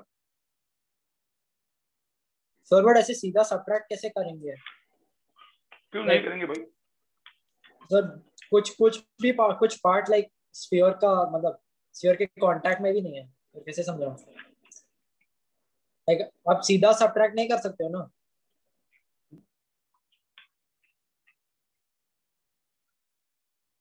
देख एग्जैक्टली ऊपर रखा है। तो जो, देख, तुम सब ऊपर ऊपर वाला पॉइंट देखोगे ना, ऊपर वाला तो एग्जैक्टली क्यू चार्ज इधर है। तो कुछ प्लस यहाँ से तो ये भी प्लस तो होगा ही ना। तो ये आधा प्लस हो गया। ऊपर वाला प्लस जो है, ऊपर वाला प्लस क्यू बाय नॉट नीचे वाला Q by naught total Q Jin flux निकलता है, वो क्यू बाय नॉट है। उसका सिर्फ़ आधा ही पूरा नीचे से जाएगा। समझे क्या?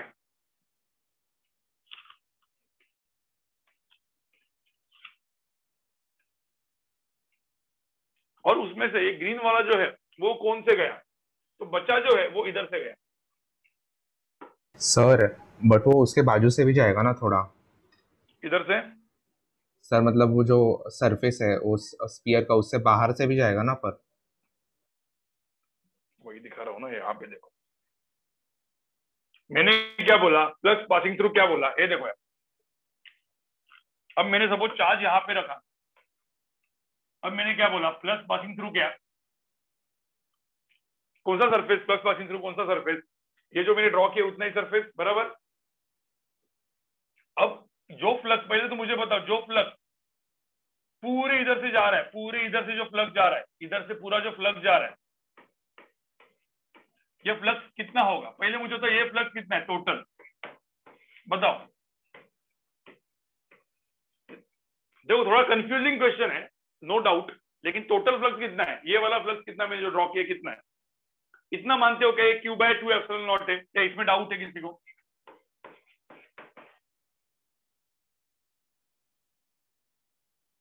ये मानते हो Q by two epsilon naught है? ठीक है तो ये Q by two epsilon naught है। अब मुझे, मैंने क्या पूछा है? देखो, मैंने क्या बोला है कि flux only passing through this मुझे ना ये वाला फ्लक्स चाहिए, जो ये इस, ये वाले इधर से जाएगा। मतलब क्या है? मतलब जैसे ये चालू होता है देखो जैसे ये अपना स्पेरिकल नीचे वाला चीज़ है तो जो फ्लक्स ये यहाँ से जा रहा है देखो इधर इसके बाद ये जो फ्लक्स इस, इसमें जा रहा है ये फ्लक्स अपने को नहीं चाहिए। इस कोन वाला फ्लक्स नहीं चाहिए। तो पूरा क्यू बाई टू एप्सिलॉन में जो कोन वाला फ्लक्स है उसको सब्ट्रैक्ट कर दो। समझे क्या? सो यस सर हाँ। सर बट जो वो ब्लैक लाइन है मतलब वो स्पीयर का and the blue line of the cone उसके बीच में देर इज़ सम स्पेस तो उससे भी जाएगा ना? सो कौन देन हाँ जाएगा ना। तो ये ब्लैक लाइन मतलब ये वाला ना इधर तो जाएगा ना तो ये इधर से जाएगा ना पूरा का पूरा। यही तो निकालना है मुझे। जो अभी ये वाला जो मैंने अलग कलर में दिया तो यही तो निकालना है ना फ्लक्स समझे क्या? Plus passing through hemispherical surface वही तो निकालना है। समझे क्या? यस सर सर मतलब हमें तो सिर्फ़ थिन सरफेस के थ्रू निकालना है ना? मैंने किसको सरफेस मैंने मुझे मेरा एक्चुअल क्वेश्चन क्या था? मेरा एक्चुअल क्वेश्चन क्या था? चार्ज क्यों रखा? तो मेरा था flux passing through this hemispherical surface ये निकालना था कि नहीं निकालना था बताओ मुझे। यस तो क्या किया मैंने सिंपली टोटल फ्लक्स निकाला नीचे वाला उसमें से कौन वाला माइनस कर दिया ना। समझे? क्वेश्चन वही था, थोड़ा सा ज्योमेट्री और थोड़ा सा इमेजिन की वजह से आपको वो वो नहीं हुआ, बस क्यू बाई टू से इतना उसको सब्ट्रैक्ट कर दो, काम खत्म। राइट गाइस एक लास्ट का क्वेश्चन सोच के आओ।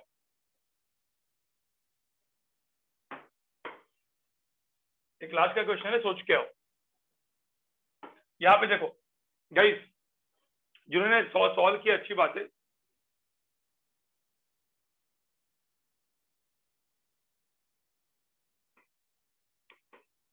इसको अगले वाले मतलब फ्राइडे के एडवांस में करेंगे सॉल्व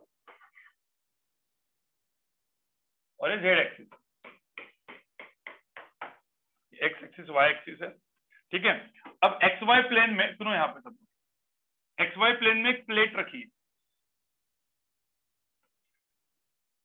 एक्स वाई प्लेन में एक प्लेट रखी चाहिए तो एक मिनट थोड़ा सा बड़ा बना देते इसको.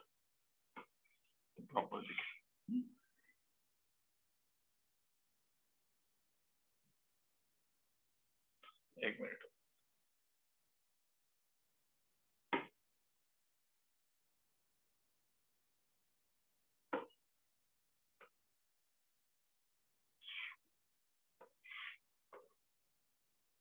ठीक है?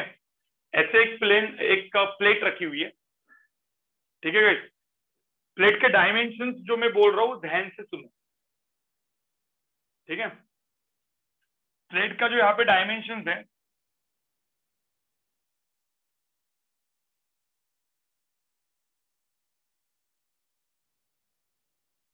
इसकी ये जो लेंथ है वो फोर ए है।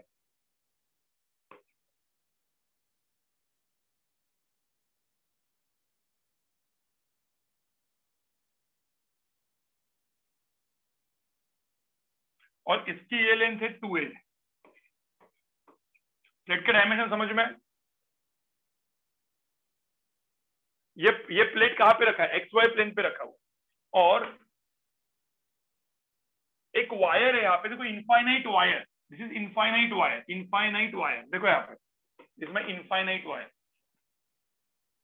कौन सी वायर है? Infinite wire infinite wire of linear mass density lambda कितना लिनियर मास डेंसिटी कितना लैमड़ा है? समझ में आ रहा है? Infinite wire of linear mass linear mass linear charge density lambda ये रखी हुई है। इनफाइनाइट वायर है। तो मुझे बताओ, इस इनफाइनाइट वायर के वजह से, अब यहाँ पे पॉइंट चार्ज है क्या? अब तक मैंने जो क्वेश्चन दिए, वो किसके क्वेश्चन दिए? बताओ मुझे। अब तक जो क्वेश्चन दिए, मैंने पॉइंट चार्ज के वजह से दिए। उसमें मैंने क्या लगाया? सॉलिड एंगल कंसेप्ट लगाया गॉस लॉ लगाया। अब मैंने आपको क्या बोला है? एक लीनियर एक इनफाइनाइट वायर इसकी लीनियर लीनियर चार्ज डेंसिटी दी है। लीनियर चार्ज डेंसिटी समझे? तो बोला है, और ये जो वायर है, ये पैरेलल टू एक्स एक्सिस है. It is parallel to X axis और ये जो डिस्टेंस है this distance is let's say root three A समझे? तो बोला है कि इस इस इंफाइनाइट वायर के वजह से इस प्लेट से कितना फ्लक्स जाएगा? ठीक है? So flux through this plate electric flux through this plate question निकाल के रख सकते हो आप लोग। गाइस सब लोग देखो।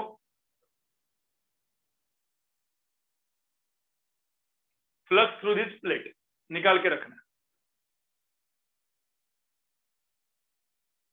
मुझे बताओ चार्ज की वजह से जो इलेक्ट्रिक फ़ील्ड निकलता है, वो कैसे निकलता है? Radially outward right radially outward तो मुझे तो एक लीनियर वायर की वजह से इलेक्ट्रिक फ़ील्ड कैसे निकलेगा, बताओ मुझे। थोड़ा सा ऐसा ऐसा सिलेंड्रिकल टाइप ना मतलब ऐसे। बराबर ना? मतलब रेडियली आउटवर्ड ही निकलेगा लेकिन थोड़ा सा सिलेंड्रिकल टाइप बराबर?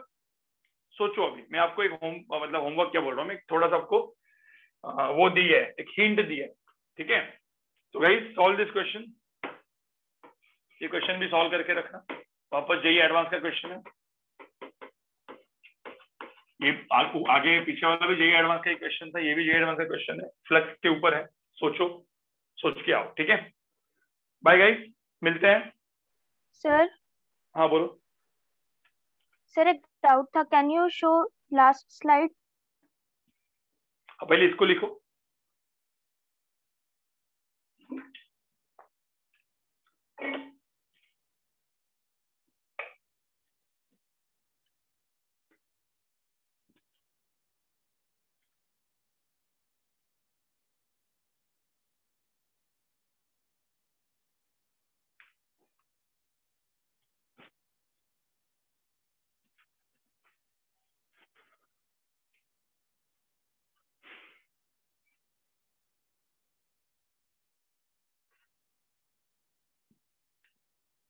इसमें क्या निकालना है? इलेक्ट्रिक फ्लक्स ध्यान में रखना।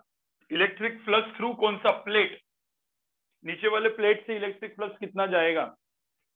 नीचे वाले प्लेट के थ्रू ये इलेक्ट्रिक फ्लक्स यहाँ से कितना जाएगा? Because of this wire wire मतलब प्लस चार्ज वाली है, ऐसा पकड़ लो ना। Linear charge density plus charge वाली वायर है सब इनफाइनाइट वायर है। ठीक है? निकाल के रखो। ठीक है? परसों के लेक्चर के बाद आपको गॉस लॉ पूरा का पूरा गॉस लॉ का होमवर्क मिल जाएगा। गॉस लॉ जो भी है अपने बुक में ठीक है? काफ़ी सारा हो जाएगा। नहीं एडवांस प्लस हो गया इसमें ही हो गया। चलो काफ़ी अच्छा खासा लंबा लेक्चर हो गया। हाँ बोलो। सर मुझे डाउट था। सर जो गॉस लॉ है ना सर वो एरिया को कुछ बताता नहीं है पर हमने देखा कि वो